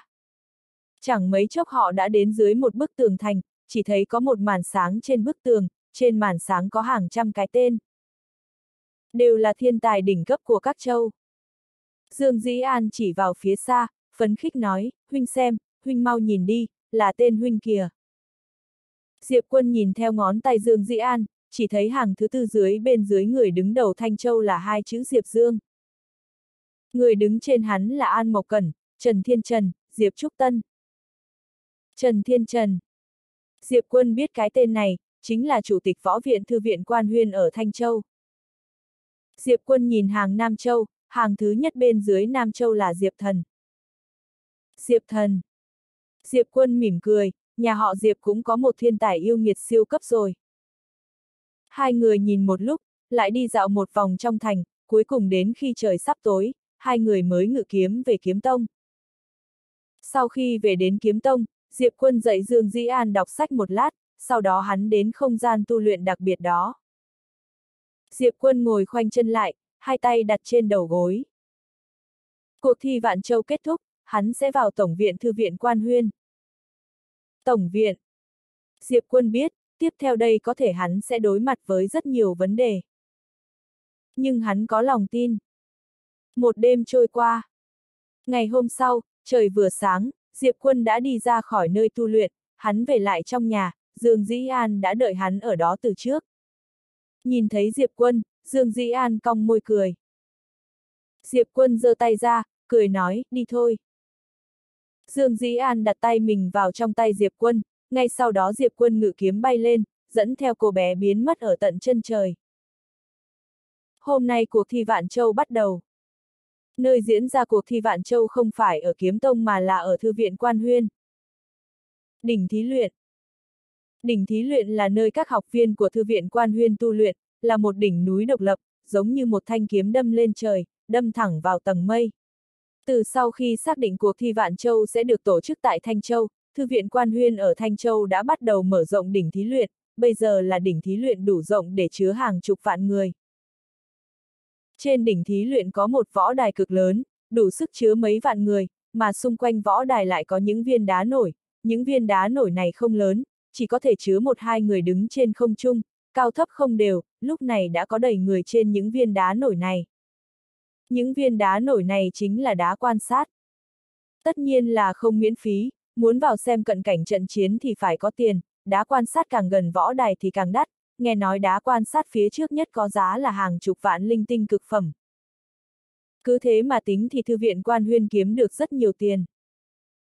Dương Dĩ An là người nhà của người tham gia, dĩ nhiên cô bé không cần phải mua vé vào cổng, họ có một khu quan sát riêng. Dương Dĩ An đã đến từ sớm, cô bé còn mang theo một cái ghế đầu nhỏ. Dĩ An cô nương. Ngay lúc này bên cạnh Dương Dĩ An bỗng vang lên giọng nói quen thuộc. Dương Dĩ An quay lại nhìn thì thấy người gọi cô bé là Thím Kiều, bên cạnh Thím Kiều là người đàn ông bán thịt. Hôm nay người đó không cởi trần, mặc một chiếc áo vải thô, trông gã hơi bất an và lo lắng. Nhìn thấy Thím Kiều, Dương Dĩ An cảm thấy hơi trột dạ. Lúc này, Thím Kiều và người đàn ông bán thịt đi đến chỗ Dương Dĩ An, bà ấy lấy một túi giấy dầu ra rồi đưa cho Dương Dĩ An, cười nói, Dĩ An cô nương, đây là bánh bao ta làm cho kịp bữa sáng, nhân gì cũng có, cô ăn đi. Dương Dĩ An hơi do dự, sau đó nói cảm ơn. Thím Kiều cười nói, khách sáo gì chứ? Nói rồi bà ấy lấy một bao đặt vào trong tay Dương Dĩ An. Người bán thịt ở bên cạnh cười khan. Ngay lúc này một tia sáng trắng bỗng lao thẳng từ trên trời xuống, vững vàng rơi xuống chính giữa võ đài đó. Ánh sáng trắng biến mất, một ông lão đoan trang xuất hiện trong tầm mắt mọi người. Người này chính là viện chủ của thư viện Quan Huyên ở Thanh Châu hiện giờ, Chu Khưu. Nhìn thấy Chu Khưu, mọi người đều trở nên yên tĩnh. Chu Khưu nhìn xung quanh, chắp tay nói, chào mừng các vị đến Thanh Châu, tiếp theo đây mời các thiên tài kiếm tông của các châu ra đây. Vèo. Sau khi một tiếng kiếm vang lên, bỗng có một luồng kiếm quang dẫn đầu xoẹt ngang qua bầu trời, sau đó từng tiếng kiếm vang lên từ trên trời, hàng ngàn kiếm quang lướt qua bầu trời rồi rơi xuống võ đài hệt như những ngôi sao băng trong ánh mắt chăm chú của mọi người. Cảnh tượng này cực kỳ tráng lệ. Chẳng mấy chốc, tất cả kiếm quang đều rơi xuống, hàng ngàn kiếm tu xuất hiện trên võ đài. Những kiếm tu này đều còn trẻ, thân hình thẳng tắp, sắc bén như một thanh kiếm không vỏ, nhất lúc này, kiếm tu của các châu đều cố ý tranh nhau phóng ra kiếm ý của mình. Mặc dù không nhắm vào nhau, nhưng họ đều muốn thể hiện bản thân, chân áp các châu khác, cả võ đài đột nhiên bị bao phủ bởi vô số kiếm ý. Phong thái của kiếm tu Ngay lúc tất cả kiếm tu xuất hiện, bầu không khí sục sôi. Ở Thanh Châu, không, phải nói là cả vũ trụ quan huyên, kiếm tu rất đặc biệt, cũng là nghề phổ biến nhất, có thể nói chỉ cần là kiếm tu thì ngươi sẽ không bao giờ thiếu phụ nữ, ở hệ ngân hà thì tương đương với một công chức. Tất nhiên muốn trở thành kiếm tu cũng vô cùng khó khăn, nhất là những người ở tầng thấp, muốn trở thành một kiếm tu, tài nguyên và tiền là vấn đề khó khăn nhất. Phó Cát Trên đài quan sát, tay phải thím kiểu bỗng ôm chặt cánh tay người bán thịt, tay trái chỉ về phía xa, phấn khích nhảy lên. Thấy thím kiều ôm lấy cánh tay mình, cơ thể người đàn ông cứng đờ, sau đó ngây ngô bật cười. Dương Dĩ An cũng bật cười, vì cô bé nhìn thấy Diệp Quân, hơn nữa Diệp Quân còn mỉm cười với cô bé. Trên võ đài, kiếm tu ở các châu vẫn đang phóng kiếm ý của mình ra. Nhưng người mạnh nhất trong số đó là người của Thanh Châu và Nam Châu, khí thế kiếm ý của hai châu này mạnh mẽ như cầu vồng, vượt xa các châu khác. Thanh Châu và Nam Châu đều là những vùng đất của các thiên tài, nhất là Thanh Châu, năm đó lúc Nam Châu vẫn chưa vực dậy, Thanh Châu vẫn luôn đứng đầu.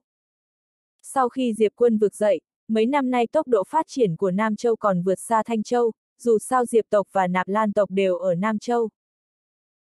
Thiên tài ở hai châu này không ai chịu thua ai. Lúc này, các thiên tài kiếm tu của hai châu đang điên cuồng phóng thích kiếm ý của mình, muốn chân áp đối phương, các kiếm tu ở các châu khác xung quanh họ không thể đến gần khu vực hai châu này. Dẫn đầu bên Thanh Châu là Diệp Trúc Tân, bên Nam Châu là do Diệp thần của nhà họ Diệp dẫn đầu. Hai người đều là cảnh giới kiếm hoàng, tuế nguyệt tiên. Kiếm tu của cả hai đều mạnh nhất trong số các kiếm tu. Thấy cuộc thi còn chưa bắt đầu mà mùi thuốc súng của hai châu đã nồng nặc đến nỗi sân đấu đột nhiên trở nên sục sôi, rất nhiều tiếng la hét vang lên từ những bục quan sát. Đánh chết Thanh Châu! Đánh chết Nam Châu! Đánh chết Thanh Châu và Nam Châu! Ngoài trong sân đấu, lúc này hầu như tất cả mọi người ở Nam Châu và Thanh Châu bên ngoài đều rất phấn khích, dù sao cũng có quả cầu ghi hình nên hình ảnh trong sân đều truyền đến Vạn Châu. Lúc này, mọi người ở Nam Châu đều nhìn thấy hình ảnh của võ đài, rất nhiều người siết chặt nắm đấm, điên cuồng la hét.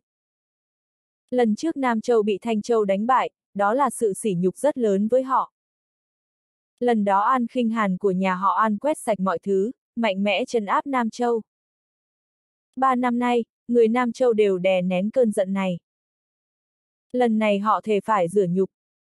Trên võ đài, các kiếm tu Nam Châu điên cuồng phóng kiếm ý của mình ra, ai cũng siết chặt nắm đấm, ánh mắt kiên định thề sẽ trấn áp các kiếm tu đến từ Thanh Châu. Các kiếm tu bên Thanh Châu cũng không hề nhượng bộ, điên cuồng phóng kiếm ý của mình. Nơi này là Thanh Châu. Đây là sân nhà của họ. Sao họ có thể bị các kiếm tu Nam Châu trấn áp được? Chẳng mấy chốc kiếm ý và kiếm thế của các kiếm tu hai bên ngày càng mạnh, điên cuồng tấn công như cơn gió lốc. Đây đã không phải là thầm so nữa. Bây giờ là đấu đá minh bạch. Nhưng ai cũng không chịu thua, thế là cứ rằng coi như thế. Chu Khưu cũng không có ý định ngăn cản, ông ta nhìn về phía Chu Phu viện trưởng thư viện Quan Huyên ở Nam Châu cách đó không xa, cười nói Chu huynh, lần này kiếm tu của Nam Châu được đấy. Chu Phu cười nói, Thanh Châu cũng thế. Chu Khưu bật cười, Chu huynh, đợi sau khi Thanh Châu ta giành được hạng nhất, ông đừng đi trước, ta nhất định sẽ uống với ông mấy ly. Chu Phu nhìn Chu Khưu, con mẹ ông. sắc mặt Chu Khưu xa sầm. Trên võ đài, lúc này sắc mặt các kiếm tu hai bên đều trắng bệch, phóng kiếm ý ra như thế rất tiêu hao tinh thần. Nhưng hai bên đều không có ý lùi bước. Bộ dạng cùng chơi đến chết. Diệp quân đứng giữa đám người, lúc này tiểu tháp bỗng nói, thế hệ này liều mạng thật. Diệp quân gật đầu, hắn không ngờ mùi thuốc súng giữa Nam Châu và Thanh Châu nồng nặc như vậy, tất nhiên chỉ cần là cạnh tranh lành mạnh thì không có gì không tốt. Diệp quân nhìn Diệp thần dẫn đầu của Nam Châu, phải nói rằng ánh mắt hắn lóe lên tia ngạc nhiên vì hắn nhận ra cho đến bây giờ, Diệp thần vẫn chưa thật sự phóng hết năng lượng của mình, vẫn rất bình tĩnh. Dĩ nhiên Diệp Trúc Tân cũng rất khá, vững như Thái Sơn. Hai người đều là con cưng của trời. So sánh ra thì Phó Cát và An Mộc Cẩn đã hơi mất sức rồi. Ở một bên khác, giữa đám mây, một thiếu niên đang cúi đầu nhìn các kiếm tu hai châu bên dưới, y nở nụ cười, trong số kiếm tu của hai châu, chỉ có Diệp Trúc Tân và Diệp Thần là thú vị.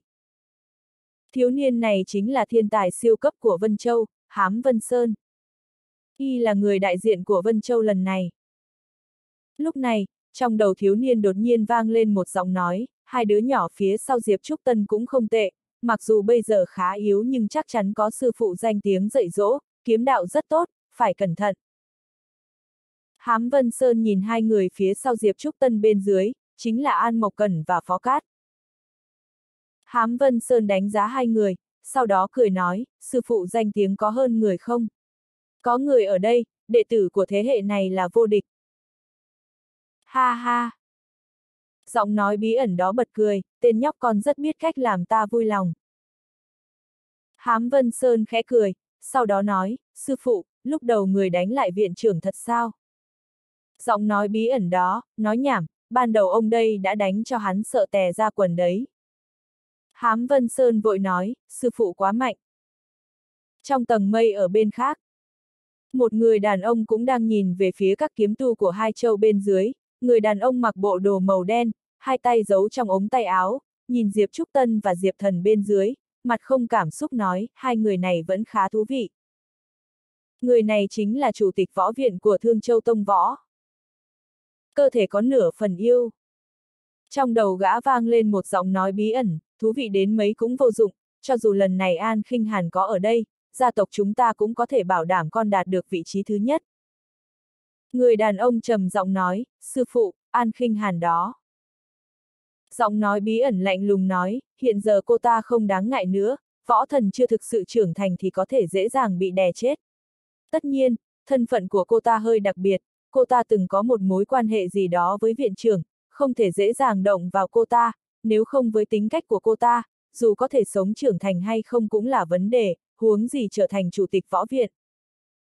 Tông võ gật đầu, ánh mắt hiện lên vẻ kính sợ, dĩ nhiên phấn khích nhiều hơn. Có gia tộc hỗ trợ, tông võ gã sẽ vực dậy nhanh thôi. Giọng nói bí ẩn lại nói, sau khi con giành được hạng nhất, đạt được số mệnh đại đạo, bọn ta sẽ sắp xếp cho con vào yêu đạo viện của Tổng viện, chỉ cần cô nương nhị nha trong truyền thuyết không quay lại, trăm năm tiếp theo, bọn ta sẽ phong con làm viện chủ yêu đạo viện, Tổng viện có 12 viện, hiện giờ chúng ta đã có 6 viện. Nói đến đây giọng nói bí ẩn đó bỗng dừng lại. Tông võ đã nghe đến mức giật thót cả mình. Trên võ đài, các kiếm tu Thanh Châu và Nam Châu đang phóng kiếm ý, lúc này kiếm ý hai bên như hai cột sóng thần, kiếm ý mạnh toát ra từng uy lực kiếm ý đáng sợ, các kiếm tu của vài châu khác đều đã không chịu nổi nữa, đều lùi sang bên cạnh.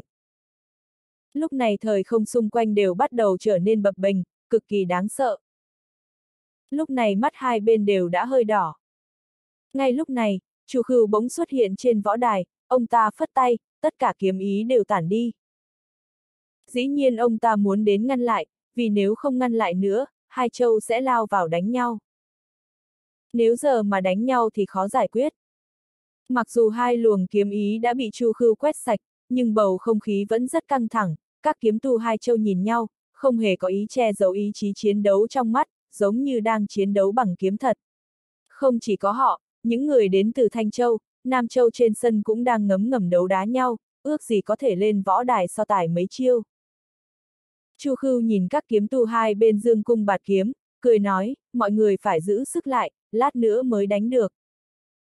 Nói rồi ông ta ngẩng đầu nhìn bầu trời, cười nói, mời các thiên tài và yêu nghiệt các châu vào sân. Vừa dứt lời, từng thiên tài đến từ các châu đáp thẳng xuống từ trên tầng mây.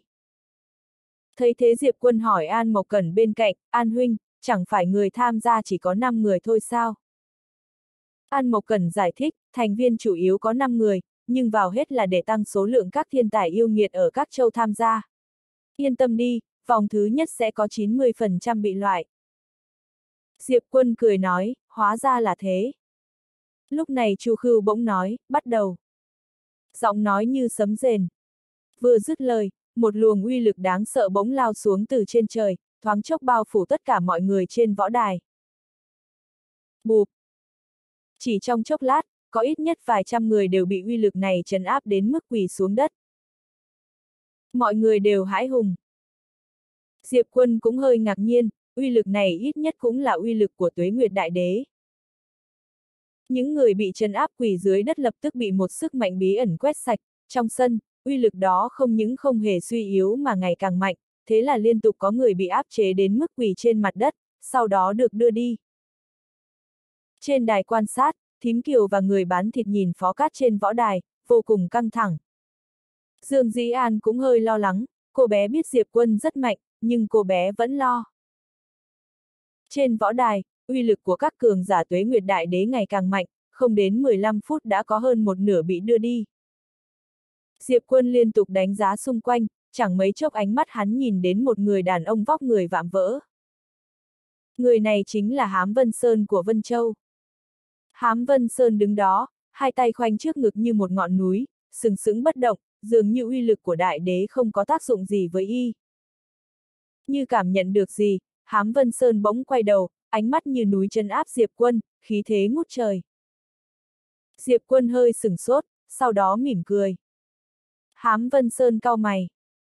Y nhìn Diệp Quân, sau đó thu lại ánh mắt, thầm nói, sư phụ, người có thấy người này không đơn giản không?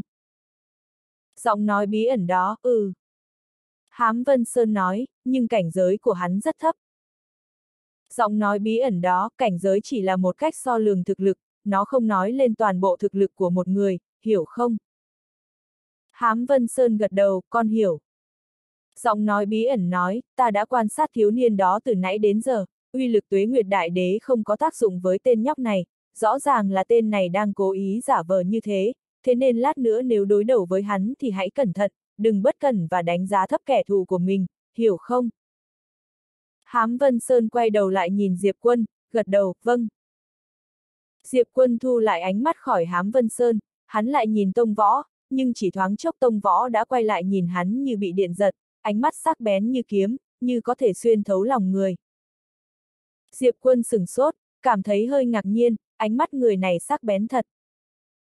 Tông võ lạnh lùng nhìn Diệp Quân, sau đó thu hồi tầm mắt, thầm nói, sư phụ, hình như người này không tầm thường chút nào. Giọng nói bí ẩn đó, vậy thì mới thú vị, chẳng phải thế à? Tông võ cong môi, đúng thế. Nói rồi gã liếc nhìn Diệp Quân. Ở đằng xa, Diệp Quân cũng mỉm cười, xem ra cuộc thi vạn châu lần này sẽ rất thú vị. Tông võ thu lại ánh mắt, gã nhìn xung quanh, sau đó vẻ mặt nghiêm trọng, sư phụ, tuế nguyệt đại đế này quả nhiên khá mạnh. Giọng nói bí ẩn nói, chỉ là đám tôm tép. Tông võ. Uy lực của tuế nguyệt đại đạo đó vẫn liên tục mạnh thêm, ngày càng nhiều người ngã xuống. Khi Chu Khưu xuất hiện trên sân, uy lực của tuế nguyệt đại đạo đó lập tức biến mất, ít nhất 90% người trong sân đã bị loại. Chỉ còn 31 người ở lại, mà 31 người này đều là yêu nghiệt trong số yêu nghiệt. Người của Thanh Châu và Nam Châu là nhiều nhất, hai bên đều có 6 người. Chu Khưu nhìn mọi người, cuối cùng ánh mắt nhìn sang Tông Võ, sau đó cười nói, cuộc thi Vạn Châu này chỉ có hai vòng, vòng thứ nhất là sóng lớn loại bỏ sóng nhỏ, chúc mừng các vị đã vượt qua vòng 1, tiếp theo là vòng thứ hai, vòng thứ hai là trò chơi sinh tử, rất đơn giản, lát nữa mọi người sẽ dịch chuyển đến một chiến trường đặc biệt. Chu Khưu vừa nói vừa xòe tay ra, trong tay xuất hiện hai tấm thẻ bài, đây gọi là thanh châu lệnh, chỉ có hai cái, người ở châu nào lấy được một cái và sống sót ra khỏi chiến trường đặc biệt thì có thể bước vào vòng tiếp theo, ông ta vừa nói thế, khán giả đều ồ lên. Hai cái. Điều này có nghĩa là gì? Tức là vòng thứ hai sẽ trở nên tàn khốc hơn, bây giờ trong sân có người của chín châu, nói cách khác vòng thứ hai kết thúc, sẽ có người của năm châu bị loại. Khốc liệt thật. Dĩ nhiên cũng càng kích thích. Lúc này mọi người đều nhìn về phía Thanh Châu và Nam Châu. Vì hai châu này là những châu có khả năng giành vị trí thứ nhất. Lúc này viện chủ thư viện quan huyên ở Nam Châu Chu Phu bỗng nói, Chu Khưu, đọc quy tắc đi.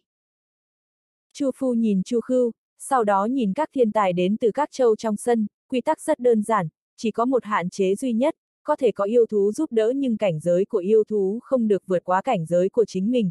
Nếu có cường giả có cảnh giới vượt quá cảnh giới của mình giúp sẽ bị coi là vi phạm quy tắc, lập tức bị loại khỏi cuộc thi, bị cấm thi đấu trong 10 năm. Quy tắc này đột nhiên được bổ sung sau đó, bởi vì lai lịch của các yêu nghiệt thiên tài này không hề đơn giản, nếu không có hạn chế thì không phải thế hệ trẻ tranh giành mà là thế hệ cũ ra trận. Để công bằng, chiến trường đặc biệt cũng sẽ được quả cầu ghi hình đám mây ghi lại để các khán giả có thể nhìn thấy. Sức ảnh hưởng của cuộc thi vạn châu này cực kỳ lớn, không có châu nào dám làm loạn. Đọc xong quy tắc, Chu Khưu bỗng giơ tay lên, bắt đầu. Vừa dứt lời, một trận pháp dịch chuyển khổng lồ xuất hiện dưới chân đám người Diệp Quân, ngay sau đó một luồng sáng xanh bao trùm lấy mọi người, thoáng chốc mọi người đều biến mất. Mà phía trên võ đài xuất hiện màn sáng cực lớn bốn mặt đều dài cả ngàn trượng, trong màn sáng, không gian trong màn sáng khẽ rung động, không lâu sau một vùng hoang mạc khổng lồ xuất hiện.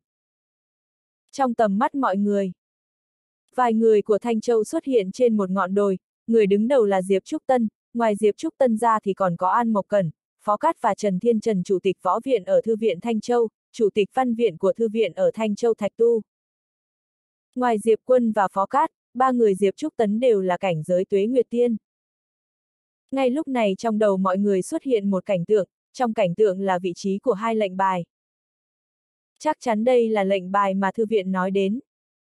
Diệp Trúc Tân nói, đi thôi. Nói rồi cô ấy ngự kiếm biến mất ở chân trời. Đám người Diệp quân chạy theo sau. Một lúc sau, Diệp Trúc Tân dẫn mọi người đến một hang núi, cách trước mặt họ vài trăm trượng về phía phía trước có một lá cờ treo thanh châu lệnh. Diệp Trúc Tân híp mắt, ra tay đi. Vừa dứt lời, dưới chân cô ấy xuất hiện kiếm quang, biến mất khỏi đó. Thuấn không nhất kiếm. Cô ấy thi triển kiếm kỹ, vì cô ấy biết không chỉ họ nhận được tin tức mà những người ở châu khác cũng nhận được tin tức. Quả nhiên, ngay khi Diệp Trúc Tân xoay người, một bên khác bỗng đánh tia kiếm quang đến đâm mạnh vào cô ấy. Vèo. Kiếm quang vỡ tan tành, hai người cùng lùi về sau. Người đến chính là Diệp Thần.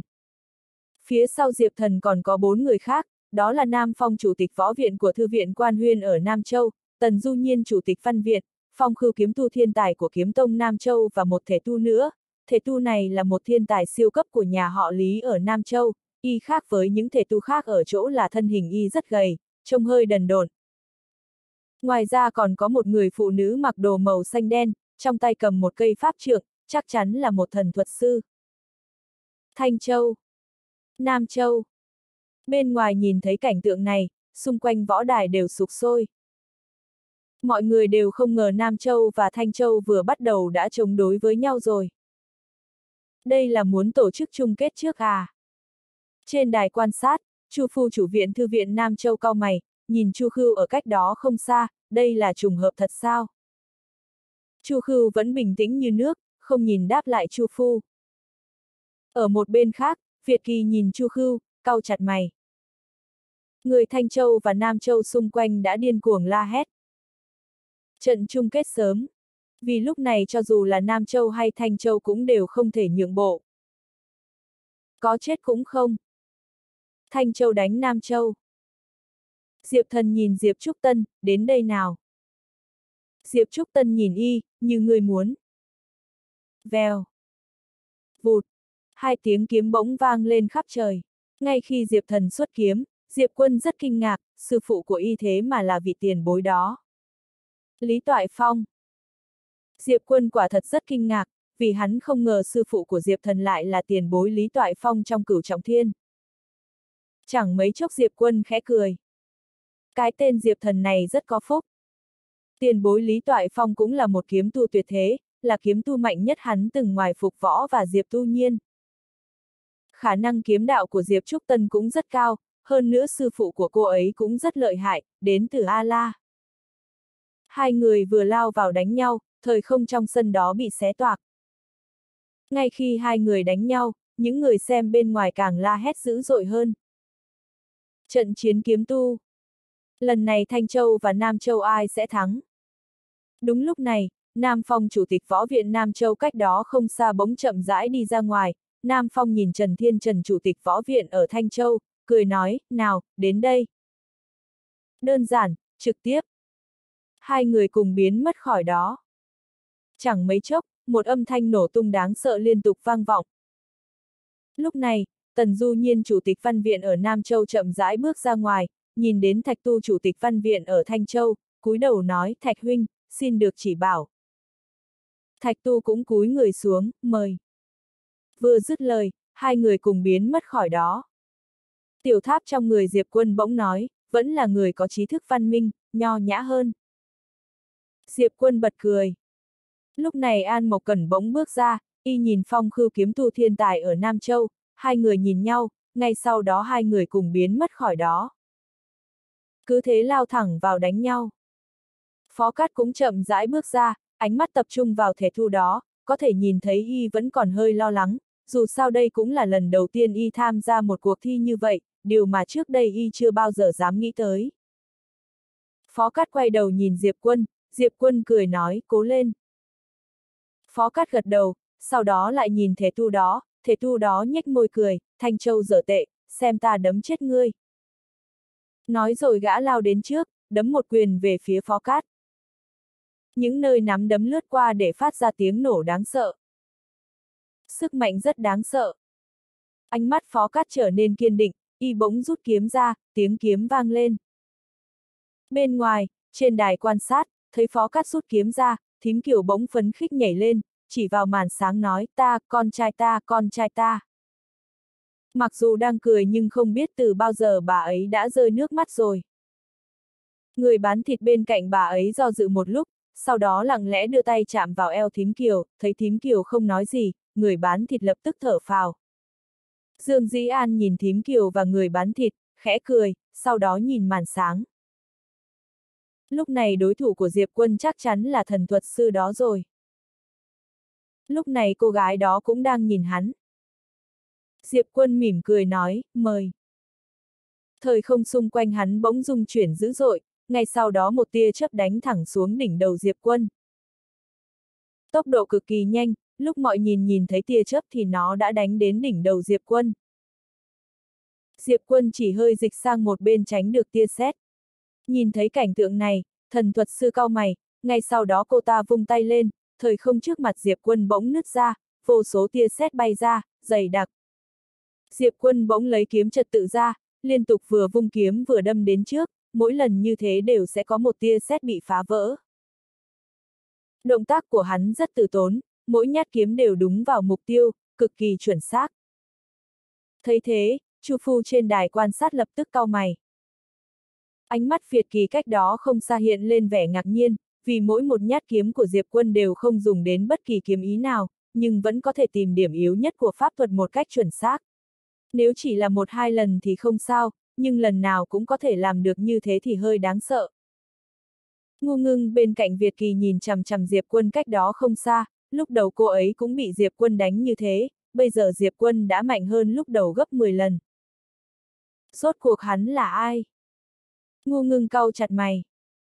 Thật ra không chỉ có cô ấy, mà cả Việt Kỳ cũng khá tò mò về thân phận của Diệp Quân, vì đây chắc chắn không phải là điều mà người bình thường có thể làm được, thật ra trình độ kiếm đạo này đã hơn hẳn Diệp Trúc Tân và Diệp Thần rồi. Dĩ nhiên người ngoài không nhìn ra được, dù sao so với trận chiến hòa Mỹ giữa Diệp Thần và Diệp Trúc Tân, động tác đâm kiếm của Diệp Quân có vẻ rất bình thường. Lúc này sắc mặt cô gái thần thuật sư đối thủ của Diệp Quân cũng trở nên vô cùng nghiêm trọng.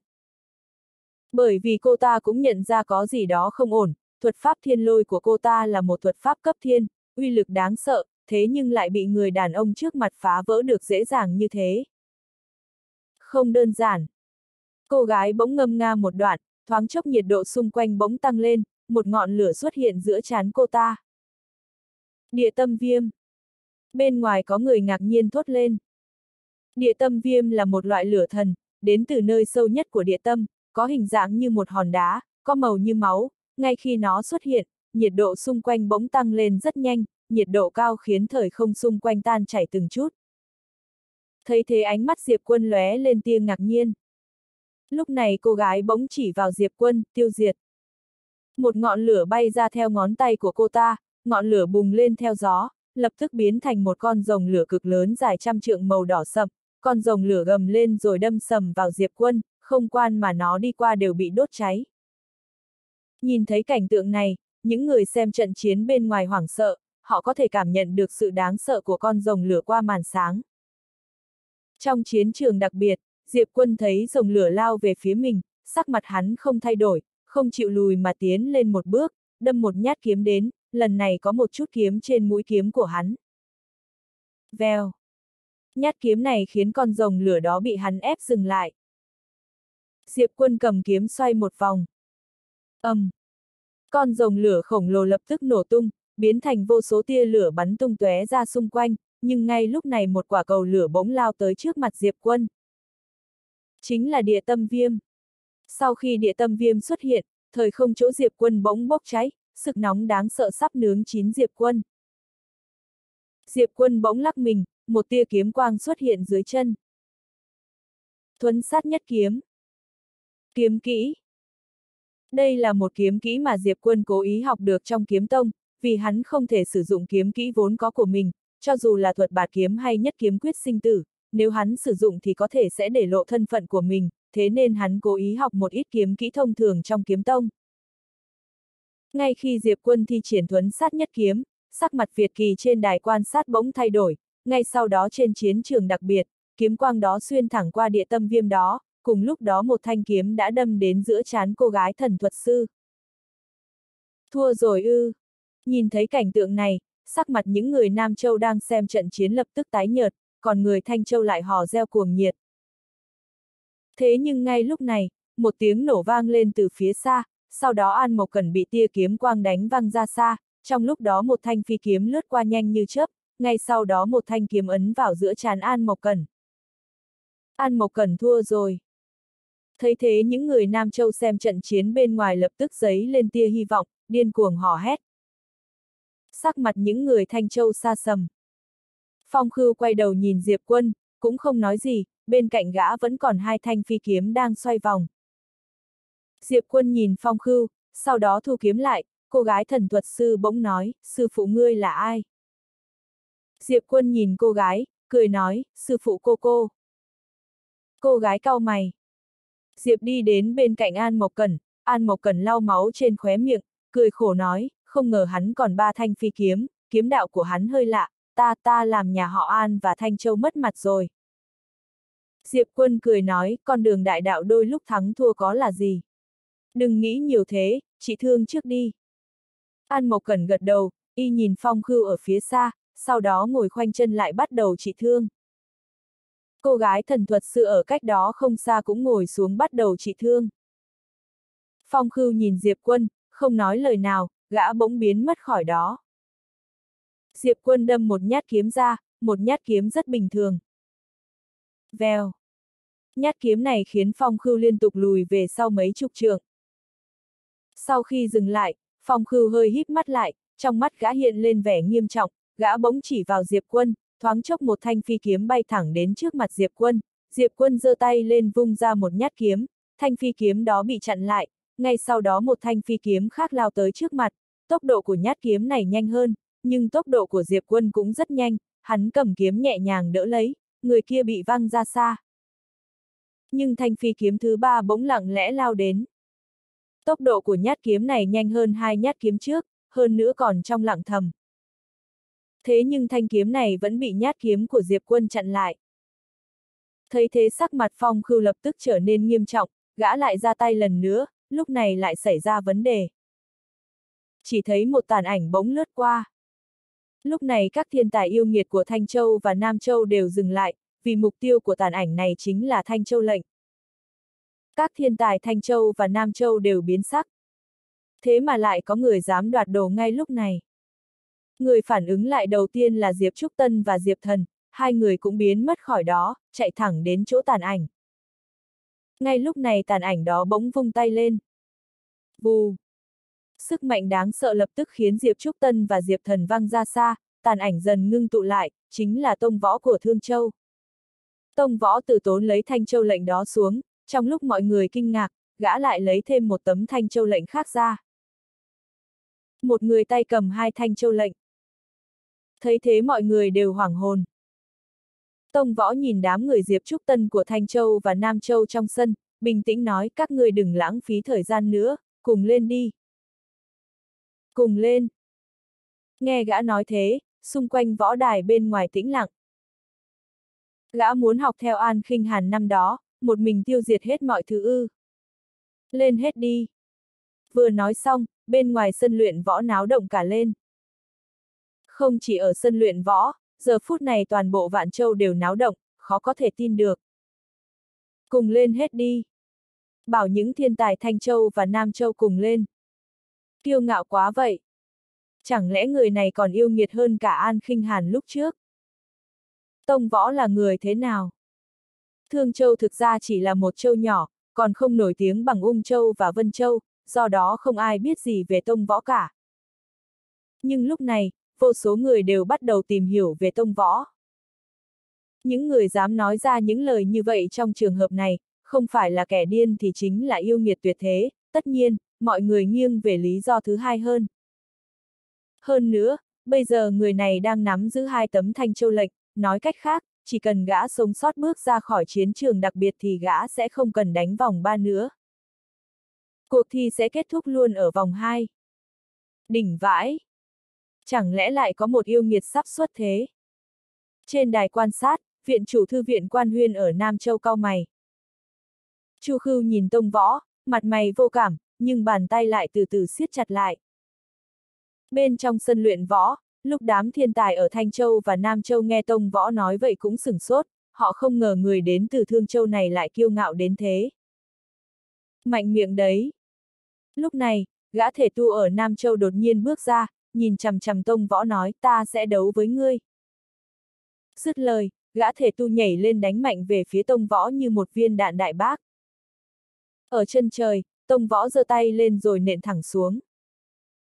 ầm. Um. Trong phút chốc, gã thể tu lập tức rơi xuống, sức lực mạnh mẽ đập vào mặt đất tạo thành một cái hố lớn. Ở trong hố, cơ thể của gã thể tu nứt toác, máu tươi trào ra không ngừng, bất tỉnh nhân sự. Một cú đấm. Vào lúc này, mọi người ở trong sân đều bị sốc. Người ở Vạn Châu cũng chấn động. Sau khi khôi phục tinh thần, người ở Thương Châu lập tức gieo hò một cách điên cuồng. Bất ngờ. Vô cùng bất ngờ. Ở trong sân, vẻ mặt Diệp Trúc Tân và Diệp Thần cũng thay đổi. Thực lực của người đàn ông ở trước mặt này vượt xa dự đoán của bọn họ. Tông võ hở hững liếc nhìn đám người Diệp Trúc Tân và Diệp Thần, đừng lãng phí thời gian, các người có thể lên cùng nhau. Lên cùng nhau. Đột nhiên Diệp Thần từ từ bước ra ngoài, y ngẩng đầu lên nhìn về phía tông võ, không nói lời nào, bỗng biến thành một luồng kiếm quang bay vụt. Tiếng kiếm vang lên. Ở chân trời, tông võ giơ tay lên nện xuống một cú đấm. ầm, um. Kiếm quang vỡ tan tành, Diệp Thần rơi thẳng xuống đất, mặt đất rung chuyển dữ dội, sau đó nứt toác ra như mạng nhện. Nhìn thấy cảnh này, vô số người ở Vạn Châu sừng sốt. Giận hết tóc gáy. Ngay cả Diệp Thần cũng không thể chịu được một cú đấm của gã sao. Trên đài quan sát, Chu Phu chậm rãi đứng lên, ông ta nhìn chằm chằm vào tông võ ở bên trong màn sáng. Diệp Thần là người mạnh nhất trong thế hệ trẻ ở Nam Châu ngày nay, nếu y không phải là đối thủ của tông võ, điều đó đồng nghĩa là lần này, Nam Châu lại không còn hy vọng nữa. Bên trong chiến trường đặc biệt, Diệp Quân nhìn Tông Võ, hắn hơi ngạc nhiên, sức mạnh của Tông Võ đúng là khá đáng sợ. Diệp Thần đang ở cảnh giới tuế nguyệt tiên, cảnh giới kiếm đạo cũng đã đạt tới kiếm hoàng, kiếm ý cô động, mặc dù không thuần khiết, nhưng trong số thế hệ trẻ y đã cực kỳ lợi hại, vậy mà lại bị Tông Võ đánh bại chỉ với một cú đấm. Giỏi lắm! Ở cách đó không xa, vẻ mặt của đám người Diệp Trúc Tân cũng thay đổi. Bọn họ phát hiện, hình như bọn họ đã đánh giá thấp thiên tài đến từ Thường Châu trước mặt này rồi. Tông võ hờ hững nhìn đám người Diệp Thần ở bên dưới, đừng lãng phí thời gian, lên hết đi. Diệp Thần đột nhiên ngẩng đầu lên, một giây sau y biến thành một luồng kiếm quang bay lên trời, trong khoảnh khắc y bay lên, kiếm ý và kiếm thế của y điên cuồng tăng vọt, lập tức vượt qua cảnh giới kiếm hoàng. Bán bộ kiếm thánh. Cảnh tượng này khiến mọi người đều bị sốc. Mặc dù không phải là kiếm thánh chân chính, nhưng bán bộ kiếm thánh cũng cực kỳ yêu nghiệt rồi. Lúc này, Tông Võ đột nhiên bước lên một bước, sau đó dậm mạnh bàn chân. ầm, um. Trời đất rung lên dữ dội, ngay sau đó, một mảnh kiếm quang vỡ vụn, một bóng người rơi từ trên trời xuống. ầm, um. Mặt đất đột nhiên rung lên rồi nứt toác ra. Mọi người vội vàng nhìn vào trong hố sâu, hai tay Diệp Thần đang cầm thanh kiếm chống đỡ cơ thể, máu không ngừng chảy ra từ khóe miệng, sau đó nhỏ xuống đất. Nhìn thấy cảnh này, khuôn mặt của tất cả mọi người đều trở nên nghiêm túc hơn, vội vàng nhìn Tông Võ đang ở trên trời. Tông Võ đang mặc một chiếc áo khoác rộng màu đen, tóc dài tung bay, trên người không có chút khí thế chập trần nào, nhưng gã lại giống như một ngọn núi, đè ép khiến mọi người không thở được. Tông Võ cúi xuống nhìn mọi người, mặt mày vô cảm, một chốc sau, gã đột nhiên nhấc chân phải lên rồi đạp mạnh xuống. ầm, um. Một nguồn sức mạnh đáng sợ tràn xuống, nghiền nát mọi người ở bên dưới như một ngọn núi khổng lồ. Gã muốn dùng sức của một mình để đấu với tất cả mọi người. Ở cách đó không xa, trong mắt Diệp Trúc Tân lóe lên một tia sáng lạnh lẽo, bỗng nhiên, cô ấy biến thành một luồng kiếm quang bay lên trời. Kiếm xé nát bầu trời. Cô ấy đã dốc hết toàn bộ sức lực vào nhát kiếm này, kiếm thế như sấm sét, không thể ngăn cản. Nhưng khi nhát kiếm của cô ấy tiếp xúc với sức mạnh của tông võ, kiếm quang ầm ầm vỡ tan, sức mạnh cường đại lập tức đè ép khiến cô ấy rơi thẳng xuống, luồng sức mạnh khủng khiếp đó không biến mất mà giáng thẳng xuống, hung hăng đánh về phía mọi người. Giờ phút này, thiên tài Thanh Châu và Nam Châu phải hợp sức lại với nhau, mọi người cùng nhau biến mất tại chỗ, lần lượt bay lên trời. ầm, um. Trời đất rung lên dữ dội, dưới cái nhìn của vô số người ở Vạn Châu, tất cả những người bay lên trời đều bị chấn áp rơi mạnh xuống đất. Toàn bộ mặt đất đều nứt ra. Nhìn thấy cảnh này, tất cả mọi người ở bên ngoài đều sợ hãi. Thiên tài của cả Thanh Châu và Nam Châu cộng lại cũng không phải là đối thủ của người này sao? Mọi người đều không tin được. Ở đâu đó trong bóng tối, có một thanh niên đang nhìn chằm chằm tông võ, người đó là Hám Vân Sơn. Hám Vân Sơn nhìn tông võ, gần giọng nói, sư phụ, sức mạnh của người này thật đáng sợ, còn mạnh hơn cả con. Giọng nói bí ẩn cất lên, sức mạnh này của gã có gì đó không đúng lắm. Vẻ mặt hám Vân Sơn nghiêm túc hơn, có lẽ là gã vẫn chưa thể hiện hết thực lực thật sự của mình. Giọng nói bí ẩn đột nhiên lên tiếng, xem trước rồi nói sau. Hàm Vân Sơn gật đầu. Mục tiêu trước kia của Hám Vân Sơn là thanh châu lệnh trong tay Tông Võ, nhưng khi y đến, Tông Võ đã càn quét mọi thứ, giành được thanh châu lệnh. Y vội vàng đuổi đến, sau đó lại nhìn thấy cảnh tượng trước mắt. Hám Vân Sơn là song tu thể võ, nhưng sau khi nhìn thấy Tông Võ, y phát hiện, sức mạnh của y kém xa Tông Võ trước mặt này. Dường như cảm nhận được điều gì đó, y đột nhiên quay đầu nhìn, cách đó không xa, có một người đang đứng, người duy nhất còn nguyên vẹn. Chính là Diệp Quân. Vừa rồi tất cả mọi người đều ra tay, nhưng chỉ có Diệp Quân không ra tay. Lúc này, vô số người ở Vạn Châu cũng phát hiện ra Diệp Quân. Trên đài quan sát, Việt Kỳ nhìn chằm chằm Diệp Quân, hai tay bà ấy từ từ siết chặt, tất nhiên bà ấy cũng hy vọng Thanh Châu có thể giành được vị trí thứ nhất.